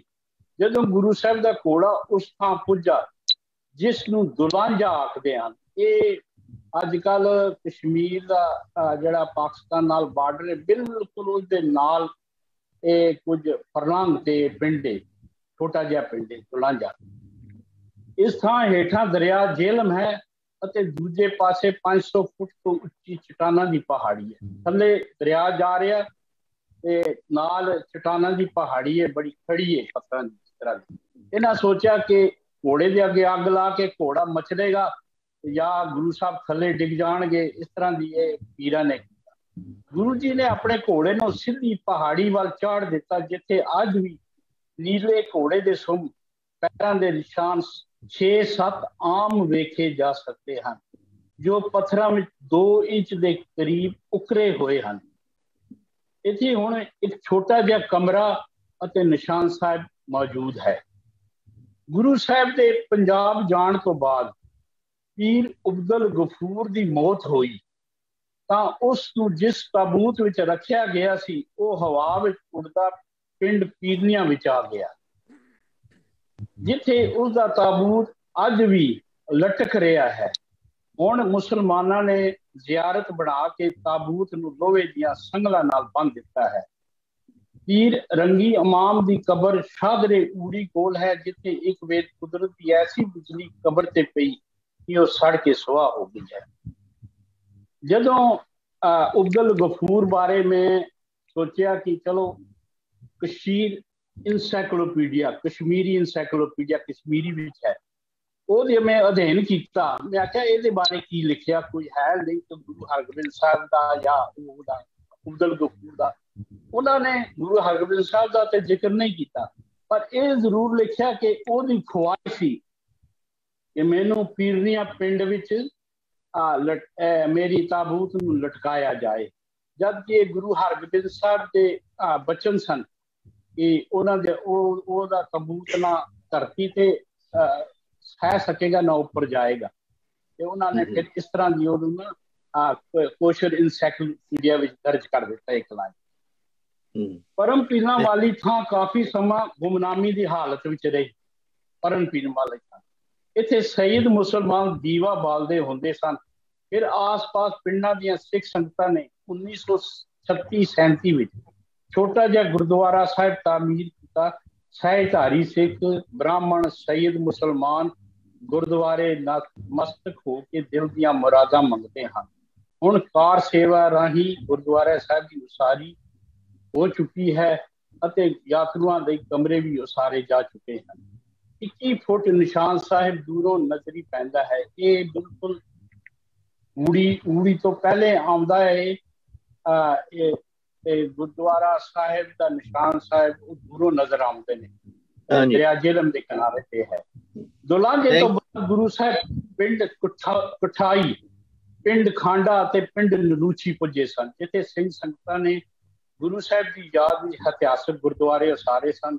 ਇਹ ਤਿੰਨੇ ਗੁਰਦੁਆਰੇ ਹੁਣ ਪਾਕਿਸਤਾਨ ਵਿੱਚ ਦੇ ਕਸ਼ਮੀਰ ਵਿੱਚ ਹਨ। ਇਹ ਤਿੰਨ ਗੁਰਦੁਆਰੇ ਉਸ ਸਾਈਡ ਰਹਿ ਗਏ ਨੇ। 1947 ਵਿੱਚ ਗੁਰਦੁਆਰਾ 6ਵੀਂ ਪਾਤਸ਼ਾਹ ਨਦੂਚੀ ਮੁਜ਼ਫਰਾਬਾਦ ਵਿੱਚ ਸਿੰਘਾਂ ਨੇ ਅਰਦਾਸਾ ਸੋਧ ਕੇ ਸ਼ਹੀਦੀਆਂ ਪਾਈਆਂ ਸਨ ਅਤੇ ਆਪਣਾ ਸਿੱਖੀ ਸਿੱਧ ਕੇਸਾਂ ਸਵਾਸਾਂ ਸੰਗ ਨਿਭਾਇਆ ਇਸ ਅਸਥਾਨ ਨਾਲ 50 ਏਕੜ ਜ਼ਮੀਨ ਬੰਦੋਬਸਤ ਦੇ ਕਾਗਜ਼ਾਂ ਵਿੱਚ ਦਰਜ ਪਿੰਡ ਨੂਨੂਚੀ ਨਾਲ ਅੱਜ ਕੱਲ ਪਾਕਿਸਤਾਨ ਸਰਕਾਰ ਨੇ ਇਸ ਗੁਰਦੁਆਰੇ ਵਿੱਚ ਬੱਚਿਆਂ ਦਾ ਸਕੂਲ ਖੋਲ ਦਿੱਤਾ ਹੈ ਹਜ਼ਾਰੇ ਹਜ਼ਾਰੇ ਤੋਂ ਹੁੰਦੇ ਹੋਏ ਗੁਰੂ ਸਾਹਿਬ ਹਸਨ ਅਬਦਾਲ ਪੁੱਜੇ ਸਨ ਗੁਰੂ ਸਾਹਿਬ ਨੇ ਕਸ਼ਮੀਰ ਵਿੱਚ ਕੁਝ ਮਹੀਨੇ ਮਕਾਮ ਕੀਤਾ ਤੇ ਲੋਕਾਂ ਦੇ ਦੁੱਖ ਵੰਡਦੇ ਰਹੇ। ਹਜ਼ਾਰਾਂ ਲੋਕਾਂ ਨੂੰ ਸਿੱਖੀ ਦੇ ਕੁਟੁੰਬ ਵਿੱਚ ਸ਼ਾਮਲ ਕੀਤਾ ਜਿਸ ਦੀ ਗਵਾਹੀ ਗੈਰ ਸਿੱਖ ਲਿਖਤਾਂ ਵਿੱਚ ਆਈ ਹੈ। ਥੈਂਕ ਯੂ ਭਾਈ ਸਾਹਿਬ ਬਹੁਤ ਖਾਲਸਾ ਭਾਈ ਫਤਿਹ। ਤੇ it's very interesting and historic situation ਜੋ ਤੁਸੀਂ ਡਿਸਕ੍ਰਾਈਬ ਕੀਤੀ ਹੈ। ਤੇ ਆਪਣੇ ਪੈਨਲ ਦੇ ਵਿੱਚ ਬੰਦੇ ਜਿਹੜੇ ਬੈਠੇ ਨੇ ਕਿਸੇ ਦਾ ਵੀ ਕੋਈ ਸਵਾਲ ਹੋਵੇ ਉਹਨਾਂ ਬਾਬਤ ਇਹਨਾਂ ਨੇ ਜੋ ਸਾਨੂੰ ਇਨਫੋਰਮੇਸ਼ਨ ਦਿੱਤੀ ਹੈ please feel free to ask him any questions ਮੈਂ ਇੱਕ ਗੱਲ ਪੁੱਛਣਾ ਚਾਹਾਂ ਜਸਵੀਰ ਸਿੰਘ ਬੋਲ ਰਿਹਾ ਜੀ ਵਾਈ ਖਾਲਸਾ ਵਾਈ ਫਤਿਹ। ਵੀਰ ਜੀ ਆਪਨੇ ਬਹੁਤ ਹੀ ਇਨਫੋਰਮੇਸ਼ਨ ਜੋ ਦਿੱਤੀ ਹੈ ਬੜੀ ਹੀ ਇੰਪੋਰਟੈਂਟ ਇਨਫੋਰਮੇਸ਼ਨ ਹੈ। ਲੇਕਿਨ ਜੋ ਅੱਜਕੱਲ ਦੇ ਕਸ਼ਮੀਰ ਦੇ ਅੰਦਰ ਹਾਲਾਤ ਹਨ ਪੋਲਿਟੀਕਲ ਹਾਲਾਤ ਹਨ ਜੋ ਜੇ ਉੱਥੇ ਟੈਨਸ਼ਨ ਚੱਲ ਰਹੀ ਹੈ, ਉਹਦੇ ਵਿੱਚ ਹੁਣ ਸਿੱਖ ਔਰ ਗੁਰਦੁਆਰਿਆਂ ਦਾ ਕੀ ਪੋਜੀਸ਼ਨ ਹੈ? ਆਰ ਦੇ ਸੇਫ ਹੋ ਕੇ ਨਹੀਂ? ਉੱਥੇ ਕੀ ਹੋ ਰਿਹਾ? ਜੀ। ਜਦੋਂ ਤਾਂ ਗੁਰਦੁਆਰਿਆਂ ਦਾ ਸੰਬੰਧ ਹੈ ਜੀ, ਬਿਲਕੁਲ ਸੇਫ ਨੇ। ਖਾਲਸੇ ਵੀ ਚੜ੍ਹਦੀ ਕਲਾ ਵਿੱਚ ਨੇ। ਆ ਸਿਆਸੀ ਤੌਰ ਤੇ ਤੇ ਉਥਲ ਪੁਥਲ ਹੁੰਦੀ ਰਹਿੰਦੀ ਹੈ ਛੋਟੀ ਮੋਟੀ ਹੈ ਜੀ। ਤੇ ਸਿੱਖ ਜਿਹੜੇ ਵੀ ਉੱਥੇ ਰਹਿ ਰਹੇ ਨੇ, ਬੜੀ ਚੜ੍ਹਦੀ ਕਲਾ ਵਿੱਚ ਰਹਿ ਰਹੇ ਨੇ। ਗੁਰਦੁਆਰਿਆਂ ਦਾ ਇੰਤਜ਼ਾਮ ਚੰਗੀ ਤਰ੍ਹਾਂ ਚੱਲ ਰਿਹਾ। ਤੇ ਉੱਥੇ ਜਿਹੜੇ ਆਪਣੇ ਸਿੱਖ ਪ੍ਰਚਾਰ ਪ੍ਰਚਾਰਕ ਨੇ ਉਹ ਵੀ ਬਾਹਰ ਤੋਂ ਆਉਂਦੇ ਨੇ ਪੰਜਾਬ ਤੋਂ ਆਉਂਦੇ ਰਹਿੰਦੇ ਨੇ। ਤੇ ਇਸ ਤਰ੍ਹਾਂ ਚੱਲਦਾ ਰਹਿੰਦਾ ਹੁਣ ਸਿਆਸੀ ਤੌਰ ਤੇ ਤੇ ਚਲੋ ਛੋਟਾ ਮੋਟਾ ਹੁੰਦਾ ਰਹਿੰਦਾ। ਤੇ ਉਹ ਸਾਡੇ ਉਸ ਵਿੱਚ ਦੇਖਣ ਦੀ ਜ਼ਰੂਰਤ ਨਹੀਂ ਸਾਨੂੰ ਤੇ ਆਪਣੇ ਸਿੱਖੀ ਪ੍ਰਚਾਰ ਵੱਲ ਧਿਆਨ ਦੇਣ ਦੀ ਜ਼ਰੂਰਤ ਹੈ ਜੀ। ਹਾਂ ਨਹੀਂ ਬਾ ਮੇਰਾ ਸੇਫਟੀ ਤਾਂ ਸੀਗਾ ਕਿਉਂਕਿ ਬਹੁਤ ਜ਼ਿਆਦਾ ਉੱਤੇ ਟੈਨਸ਼ਨ ਹੋ ਗਈ। ਜਿੰਨੇ ਉਥੋਂ ਦੇ ਪੰਡਿਤ ਨੂੰ ਬਾਹਰ ਕੱਢ ਦਿੱਤਾ ਹੁਣ ਇਹ ਸਭ ਸਿੱਖਾਂ ਦਾ ਪਤਾ ਨਹੀਂ ਕੀ ਹਾਲ ਹੈ। ਇਸ ਪੁਆਇੰਟ ਤੋਂ ਪੁੱਛਿਆ ਹਾਂ ਨਹੀਂ ਉਸ ਉਸ ਤਰ੍ਹਾਂ ਤੇ ਬਹੁਤ ਚੜ੍ਹਦੀ ਕਲਾ ਸਿੱਖਾਂ ਨਾਲ ਕੋਈ ਇਸ ਤਰ੍ਹਾਂ ਦੀ ਨਹੀਂ। ਉਹ ਬਿਲਕੁਲ ਕੋਆਪਰੇਟ ਵੀ ਕਰਦੇ ਨੇ ਹੈ ਜੀ। ਕੋਈ ਇਸ ਤਰ੍ਹਾਂ ਨਹੀਂ ਸਿੱਖਾਂ ਨਾਲ ਸਿੱਖ ਜਦੋਂ ਕੁਝ ਹੁੰਦਾ ਆਪਣੇ ਕੋਵਿਡ ਵਿੱਚ ਸਿੱਖਾਂ ਉਹਨਾਂ ਦੀ ਵੀ ਮਦਦ ਕੀਤੀ ਹੈ। ਜਦੋਂ ਸਹਿਲਾਬ ਆਇਆ ਸੀ ਆਪਣੇ 2012 ਵਿੱਚ ਤੇ ਉਦੋਂ ਸਿੱਖਾਂ ਨੇ ਬੜਾ ਸਮਾਨ ਦਿੱਤਾ ਉਹਨਾਂ ਨੂੰ ਲੰਗਰ ਦਿੱਤੇ ਨੇ। ਮੈਂ ਆਪ ਉੱਥੇ ਮੌਜੂਦ ਸੀ ਉੱਥੇ ਐਸਜੀਪੀਸੀ ਵੱਲੋਂ ਉਹਨਾਂ ਨੂੰ ਟਰੱਕ ਭਰ ਭਰ ਕੇ ਬਿਸਤਰੇ ਅਰਜ਼ਾਈਆਂ ਦੇ ਭਜਵਾਏ ਨੇ ਉਹਨਾਂ ਨੇ। ਉਸ ਤਰ੍ਹਾਂ ਸਿੱਖਾਂ ਨਾਲ ਬੜੀ ਉਹਨਾਂ ਦੀ ਤੰਗੀ ਇਹ ਵੇ ਨੇਤਾ ਵੇ, ਕੋਈ ਇਸ ਤਰ੍ਹਾਂ ਦੀ ਘਬਰਾਹਟ ਦੀ ਜ਼ਰੂਰਤ ਨਹੀਂ ਹੈ। ਤੇ ਹੁਣ ਖਬਰਾਂ ਜਿਹੜੀਆਂ ਨਾ ਬੜਾ ਚੜਾ ਕੇ ਅਸੀਂ ਅਸੀਂ ਵੀ ਟੀਵੀ ਤੇ ਵੇਖਦੇ ਆ ਤੇ ਉਸ ਤਰ੍ਹਾਂ ਸਮਝਣਾ ਪਤਾ ਜੀ ਕੀ ਗੱਲ ਹੈ? ਮੇਰੇ ਕਿਸੇ ਦੋਸਤ ਨੇ ਕਿਹਾ ਸੀ ਕਿ ਜੀ ਅਸੀਂ ਪਿਛਲੇ ਸਾਲ ਕਿਹਾ ਸੀ ਕਿ ਅਸੀਂ ਕਸ਼ਮੀਰ ਚਾਹੁੰਦੇ ਸਾਂ ਆਣਾ ਤੇ ਸੁਣਿਆ ਉੱਥੇ ਜੋ ਜਿਹੜਾ ਕੋਈ ਬਾਹਰ ਦਾ ਆਉਂਦੇ ਤੇ ਇੱਕਦਮ ਪੱਥਰ ਵਗੈਰਾ ਮਾਰਨ ਸ਼ੁਰੂ ਹੋ ਜਾਂਦੇ। ਮੈਂ ਕਹਿੰਦਾ ਇਹੋ ਜੀ ਕੋਈ ਗੱਲ ਨਹੀਂ। ਇਸ ਤਰ੍ਹਾਂ ਵਾਵਾ ਵਾਹ ਫੈਲਦੀ ਨਹੀਂ। ਸਿੱਖ ਬਿਲਕੁਲ ਚੜ੍ਹਦੀ ਕਲਾ ਵਿੱਚ ਨੇ। ਵਾਹਿਗੁਰੂ ਦਾ ਹੋਰ ਤੇ ਆਸ ਨਾਲ ਹੈ। ਅਸੀਂ ਤਾਂ ਅਜੇ ਤੱਕ ਕਸ਼ਮੀਰ ਨਹੀਂ ਦੇਖਿਆ ਇਸੇ ਕਰਕੇ। ਜੀ ਜੀ ਜੀ। ਐਸਾ ਉੱਥੇ ਹਾਂ ਉੱਥੇ ਪਿੱਛੇ ਜੇ ਕਈ ਸਾਲ ਹੋ ਗਏ ਬੜਾ ਮੈਸੇਕਰ ਹੋਇਆ ਸੀ ਜਦੋਂ ਕਲਿੰਟਨ ਵਗੈਰਾ ਗਿਆ ਹੈਗਾ ਇੰਡੀਆ ਉਹਦਾ ਕੀ ਕਾਰਨ ਸੀਗਾ? ਜੀ ਉਹ ਦੇਖੋ ਜੀ ਉਹ ਹੁਣ ਸਾਡਾ ਤੇ ਇਸ ਵਕਤ ਨਾ ਧਾਰਮਿਕ ਵਿਸ਼ੇ ਤੇ ਵਿਚਾਰ ਹੋ ਰਹੇ ਨੇ। ਇਹ ਸਿਆਸਤ ਦੇ ਪਿੱਛੇ ਉਹਨਾਂ ਦਾ ਲਿੰਕ ਸੀ ਉਹ ਜੁੜਦਾ ਉਹ ਤੇ ਬਾਅਦ ਵਿੱਚ ਬਾਅਦ ਦੇ ਪੇਪਰਾਂ ਵਿੱਚ ਹੀ ਆ ਗਿਆ ਹੈ ਜੀ? ਇਹਦਾ ਹੱਥ ਸੀ ਉਹ ਓਪਨਲੀ ਨਹੀਂ ਕਹਿ ਰਹੇ ਉਹ। ਤੇ ਕਿਸ ਤਰ੍ਹਾਂ ਉਹ ਕਰਾਇਆ ਸਭ ਕੁਝ ਤੇ ਉਹ ਸਿਆਸੀ ਵਿਸ਼ਾ ਮੈਂ ਉਧਰ ਟੱਚ ਨਹੀਂ ਕਰਦਾ। ਮੈਂ ਧਾਰਮਿਕ ਵਿੱਚ ਪੁਆਇੰਟ ਆਫ View ਤੋਂ ਗੱਲ ਕਰ ਰਿਹਾ। ਉਹ ਉਹ ਜਿਹੜੇ ਸਿੱਖ ਜਿਹੜੇ ਸੀਗੇ ਫਿਰ ਜਿਹੜੇ ਉਹਨਾਂ ਦੇ ਪਰਿਵਾਰ ਉਹਨਾਂ ਦਾ ਕੀ ਬਣਿਆ ਬਾਅਦ ਦੇ ਵਿੱਚ? ਉਹ ਪਰਿਵਾਰ ਉੱਥੇ ਹੀ ਰਹਿ ਰਹੇ ਨੇ ਸਾਰੇ ਪਰਿਵਾਰ ਰਹਿ ਰਹੇ ਨੇ। ਹੁਣ ਗੁਰਦੁਆਰਾ ਸਾਹਿਬ ਉੱਥੇ ਨਵਾਂ ਉਸਾਰਿਆ ਉਹਨਾਂ ਨੇ। ਉਹਨਾਂ ਦੀ ਯਾਦ ਵਿੱਚ ਉਹ ਜਿਹੜੇ ਆ 36 35 36 ਸਿੰਘ ਸ਼ਹੀਦ ਹੋਏ ਸੀ ਨੇ। ਉਹਨਾਂ ਦੇ ਉੱਥੇ ਯਾਦਗਾਰ ਬਣਾਈਏ ਉਹਨਾਂ ਨੇ। ਹਰ ਸਾਲ ਉਹਨਾਂ ਦੇ ਸ਼ਹੀਦੀ ਮੇਲਾ ਉਹ ਆਪਣਾ ਜੋੜ ਮੇਲਾ ਕਰਦੇ ਨੇ ਉੱਥੇ। ਹਾਂਜੀ ਤੇ ਉੱਥੇ ਸਕੂਲ ਹੀ ਹੁਣ ਖਾਲਸਾ ਮਿਡਲ ਮਿਡਲ ਸਕੂਲ ਤਿਆਰ ਕੀਤਾ ਉਹਨਾਂ ਨੇ ਐਸਜੀਪੀਸੀ ਵਾਲਿਆਂ ਨੇ ਉਹ ਵੀ ਤਿਆਰ ਹੋ ਚੁੱਕਾ ਉੱਥੇ ਤੇ ਬਿਲਕੁਲ ਚੜ੍ਹਦੀ ਕਲਾ ਨੇ ਉੱਥੇ ਉੱਥੇ ਹੀ ਵਸੇ ਨੇ ਇਸ ਵਕਤ। ਥੈਂਕ ਯੂ ਯਾਨੀ ਸੁਚਾ ਸਿੰਘ ਜੀ ਤੁਹਾਡੇ ਕੋਈ ਕਮੈਂਟ ਜਾਂ ਕੋਈ ਸਵਾਲ? ਹਾਂਜੀ ਵਾਹਿਗੁਰੂ ਜੀ ਕਾ ਖਾਲਸਾ ਵਾਹਿਗੁਰੂ ਜੀ ਕੀ ਫਤਿਹ। ਵਾਹਿਗੁਰੂ ਜੀ ਸੁਚਾ ਸਿੰਘ ਬਹੁਤ ਵਧੀਆ ਜੀ ਇਤਿਹਾਸ ਪੱਖ ਤੋਂ ਜਿਹੜੀ ਆਪ ਜੀ ਨੇ ਗੱਲ ਕੀਤੀ ਹੈ ਪ੍ਰੋਫੈਸਰ ਸਾਹਿਬ ਨੇ ਬਹੁਤ ਵਧੀਆ। ਤੇ ਕਾਫੀ ਮਤਲਬ ਜਾਣਕਾਰੀ ਇਨਫੋਰਮੇਟਿਵ ਸੀ ਸਾਰੀ ਗੱਲ ਸਪੀਚ ਹਾਂਜੀ। ਜਿਹੜੀ ਕੁਝ ਗੱਲਾਂ ਜਿਹੜੀਆਂ ਆਪਣੇ ਅਬਦੁਲ ਗਫੂਰ, ਉਹਦਾ ਤਬੂਜ਼ ਹਵਾ ਦੇ ਵਿੱਚ ਉੜਦਾ ਫਿਰ ਕਈ ਜਗ੍ਹਾ ਤੇ ਗੁਰੂ ਮਹਾਰਾਜ ਨੇ ਤੀਰ ਮਾਰ ਕੇ ਜਾਂ ਪਾਣੀ ਕੱਢ ਦਿੱਤਾ ਜਾਂ ਘੋੜੇ ਨੇ ਆਪਣਾ ਪੌੜ ਮਾਰ ਕੇ ਪਾਣੀ ਕੱਢ ਦਿੱਤਾ, ਉਹ ਹਾਲੀ ਵੀ ਚੱਲ ਰਿਹਾ ਪਾਣੀ। ਤੇ ਇਸੇ ਤਰ੍ਹਾਂ ਹੀ ਅੱਗ ਬੁਝਦੀ ਜਾਂਦੀ ਹੈ, ਜਿਸ ਵੇਲੇ ਘੋੜਾ ਜਾ ਰਿਹਾ, ਉਹ ਆਪਣੇ ਆਪ ਹੀ ਅੱਗ ਬੁਝਦੀ ਜਾਂਦੀ ਹੈ। ਤੋਂ ਇਹ ਇਹਨਾਂ ਚੀਜ਼ਾਂ ਤੋਂ ਜਾਨੀ ਅੱਜ ਕੱਲ ਦੇ ਹਿਸਾਬ ਦੇ ਨਾਲ ਅਸੀਂ ਕੀ ਸਿੱਖਿਆ ਲੈ ਸਕਦੇ ਹਾਂ? ਸੋ ਇਹਦੀ ਸਾਡੀ ਅੱਜ ਕੱਲ ਦੀ ਜਨਰੇਸ਼ਨ ਦੀ ਜਾਂ ਇਸ ਹਾਲਾਤ ਦੇ ਵਿੱਚ ਸਾਨੂੰ ਇਹਦੇ ਵਿੱਚੋਂ ਕੀ ਸਿੱਖਿਆ ਮਿਲਦੀ ਹੈ? ਸੋ ਇਹ ਮੈਂ ਕੁਐਸਚਨ ਪੁੱਛਣਾ ਚਾਹੁੰਦਾ ਸੀ ਪ੍ਰਸ਼ਨ ਜੀ ਦੈਟਸ ਅ ਗੁੱਡ ਪੁਆਇੰਟ ਹਾਂਜੀ। ਜਾਂ ਜੀ ਜਿਹੜੇ ਤੁਸੀਂ ਇਹ ਦੱਸੇ ਨੇ ਪੁਆਇੰਟ ਦੱਸੇ ਨੇ ਇਹ ਤੇ ਸਾਡਾ ਵਿਰਾਸਤ ਤੇ ਸਾਡੀਆਂ ਜਿਹੜੀਆਂ ਪੀੜ੍ਹੀਆਂ ਦਾ ਪੀੜ੍ਹੀਆਂ ਚੱਲ ਰਿਹਾ ਹੈ ਜੀ। ਇਹ ਮੁੱਖ ਇਤਿਹਾਸ ਹੈ, ਉਹ ਤੇ ਅਸੀਂ ਸਾਂਭ ਰਹੇ ਹੈ ਜੀ। ਅੱਜ ਦੇ ਕਨਸੈਪਟ ਵਿੱਚ ਉਹ ਕਹਿਣਗੇ ਨਹੀਂ ਜੀ, ਇਸ ਤਰ੍ਹਾਂ ਨਹੀਂ ਹੋ ਸਕਦਾ। ਪਰ ਜੋ ਕੁਝ ਹੋਇਆ, ਜੋ ਪੀੜ੍ਹੀਆਂ ਦਰ ਪੀੜ੍ਹੀਆਂ ਚੱਲ ਰਿਹਾ, ਉਹਨਾਂ ਨੂੰ ਅਸਲ ਸਾਂਭਣ ਦਾ ਯਤਨ ਕਰ ਰਹੇ ਹਾਂ, ਹੈ ਜੀ। ਤੇ ਜੋ ਵੀ ਫੈਕਟਸ ਨੇ, ਜੋ ਵੀ ਹੈ ਨੇ, ਇਹ ਬਿਲਕੁਲ ਡਾਕੂਮੈਂਟ ਹੋ ਚੁੱਕੇ ਨੇ। ਤੇ ਉਹ ਅੱਜ ਹੀ ਨਿਸ਼ਾਨ ਤੁਸੀਂ ਦੇਖ ਸਕਦੇ ਹੋ ਗੁਲਾਂਜੇ ਵਿੱਚ ਗੁਰੂ ਸਾਹਿਬ ਦੇ ਘੋੜੇ ਦੇ ਨਿਸ਼ਾਨ ਲੱਗੇ ਨੇ ਉੱਤੇ ਇੱਕ ਵੇਰਾ ਕੋਈ ਉੱਥੇ ਪੰਜਾਬ ਦਾ ਉਧਰ ਬ੍ਰਿਗੇਡੀਅਰ ਲੱਗਾ ਸੀ ਸਰਦਾਰ ਸਾਹਿਬ। ਉਹਨੂੰ ਪਤਾ ਲੱਗਾ ਕਿ ਇੱਥੇ ਗੁਰੂ ਸਾਹਿਬ ਦਾ ਘੋੜੇ ਦੇ ਨਿਸ਼ਾਨ ਲੱਗੇ ਨੇ। ਉਹ ਗਿਆ ਤੇ ਨਤਮਸਤਕ ਹੋਇਆ। ਉਹਨੇ ਛੋਟਾ ਜਿਹਾ ਕਮਰਾ ਉਸਾਰਿਆ। ਤੇ ਨਿਸ਼ਾਨ ਸਾਹਿਬ ਵੀ ਉਹਨਾਂ ਨੇ ਗੱਡਿਆ ਸੀ ਤੇ ਫਿਰ ਉਹਨਾਂ ਨੇ ਨਾ ਉੱਥੇ ਅਖੰਡ ਪਾਠ ਰੱਖਿਆ ਤਿੰਨ ਦਿਨ ਉੱਥੇ ਚੱਲਦਾ ਰਿਹਾ ਉੱਥੇ ਬੰਦੇ ਕੀਤਾ ਭਾਈ ਸਾਹਿਬ ਯਾ ਬਟ ਆਈ ਨੇ? ਹਾਂਜੀ ਡਾਕਟਰ ਸਰਨਾ ਦਾ ਸਿਚੁਏਸ਼ਨ ਇਸ ਕਿ ਵੀ ਇਹ ਜਿਹੜੀਆਂ ਚੀਜ਼ਾਂ ਨੇ ਸਿੱਖੀ ਚ ਅਸੀਂ ਕਹਿੰਦੇ ਆ ਜਿਹੜੀ ਜਿਹੜੀ ਹੈ ਕਰਾਮਾਤ ਜਿਹੜੀ ਉਹਦੀ ਕੋਈ ਥਾਂ ਨਹੀਂ ਸਾਨੂੰ ਹੁਕਮ ਚ ਰਹਿਣਾ ਚਾਹੀਦਾ ਸਾਨੂੰ ਸਾਰਾ ਜੋ ਹੈ ਹੁਕਮ ਰਜਾਈ ਚੱਲਣਾ ਦਾ ਇਹ ਉਪਦੇਸ਼ ਹੈ। ਜਦੋਂ ਇਹੋ ਜਿਹੀਆਂ ਗੱਲਾਂ ਆਉਂਦੀਆਂ ਨੇ ਤੇ ਫਿਰ ਉਹਦੇ ਵੱਲ ਫਿਰ ਬੰਦੇ ਨੂੰ ਕਨਫਿਊਜ਼ਨ ਪੈਦਾ ਹੁੰਦਾ ਕਿ ਭਈ ਇਹ ਗੱਲਾਂ ਮਹਾਰਾਜ ਹੋ ਸਕਦਾ ਵਾਕਈ ਕਰਦੇ ਨੇ, ਕਰਦੇ ਰਹੇ ਜਾਂ ਐਵੇਂ ਬਣਾਈਆਂ ਗਈਆਂ ਨੇ ਇਹ ਚੀਜ਼ਾਂ? ਦੇਖੋ ਜਿਹੜੀ ਇਤਿਹਾਸਕ ਜਿਹੜੇ ਇਤਿਹਾਸਕ ਸੋਰਸ ਨੇ, ਉਸ ਤੋਂ ਤੇ ਸਾਨੂੰ ਇਸ ਤਰ੍ਹਾਂ ਦੀ ਜਿਹੜੀਆਂ ਪੀੜ੍ਹੀਆਂ ਵਾਈਟ ਚੱਲਦੀ ਹੈ। ਇਹ ਇਤਿਹਾਸ ਮੁਖਕ ਯਾਨੀ ਇਸੇ ਤਰ੍ਹਾਂ ਬਣਦਾ ਤੇ ਸਾਂਭਿਆ ਜਾਂਦਾ।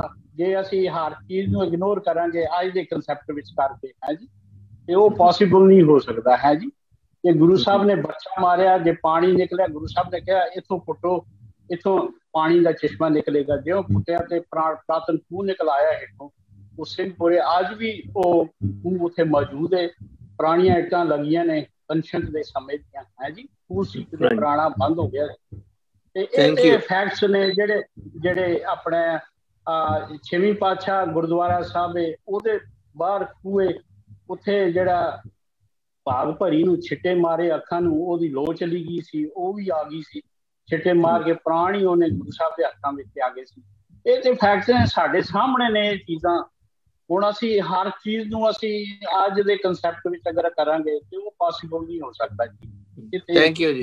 ਥੈਂਕ ਯੂ ਵਿਰਾਸਤ ਤੇ ਰਿਆਸਤ ਤੇ ਹਾਂਜੀ ਹਾਂਜੀ। ਯਾਰ ਡਾਕਟਰ ਬਾਸੂ ਤੁਹਾਡਾ ਕੀ ਵਿਚਾਰ ਹੈ ਇਹਨਾਂ ਚ ਬਾਬਤ?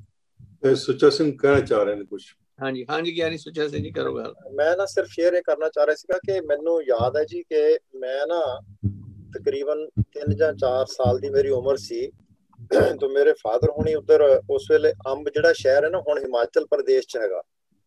ਇਹ ਅੱਜ ਤੱਕ 1966 ਦੇ ਵਿੱਚ ਪੈਪਸੂ ਜਦੋਂ ਬਣਿਆ, ਉਦੋਂ ਇਹ ਹਿਮਾਚਲ ਚ ਗਿਆ, ਉਸ ਤੋਂ ਪਹਿਲਾਂ ਪੰਜਾਬ ਦੇ ਵਿੱਚ ਹੁੰਦਾ ਸੀ। ਮੈਂ ਉਸ ਤੋਂ ਪਹਿਲਾਂ ਦੀ ਗੱਲ ਕਰਦਾ 61 ਦਾ ਮੇਰਾ ਜਨਮ ਹੈ ਤੇ 66 ਤੋਂ ਪਹਿਲਾਂ ਦੀ ਮੈਂ ਗੱਲ ਕਰ ਰਿਹਾ। ਠੀਕ ਹੈ ਜੀ ਅੰਦਾਜ਼ਾ ਲਾ ਸਕਦੇ ਕਿ ਮੈਂ ਵੀ 3 ਜਾਂ 4 ਸਾਲ ਦਾ ਹੋਊਗਾ ਉਸ ਵੇਲੇ।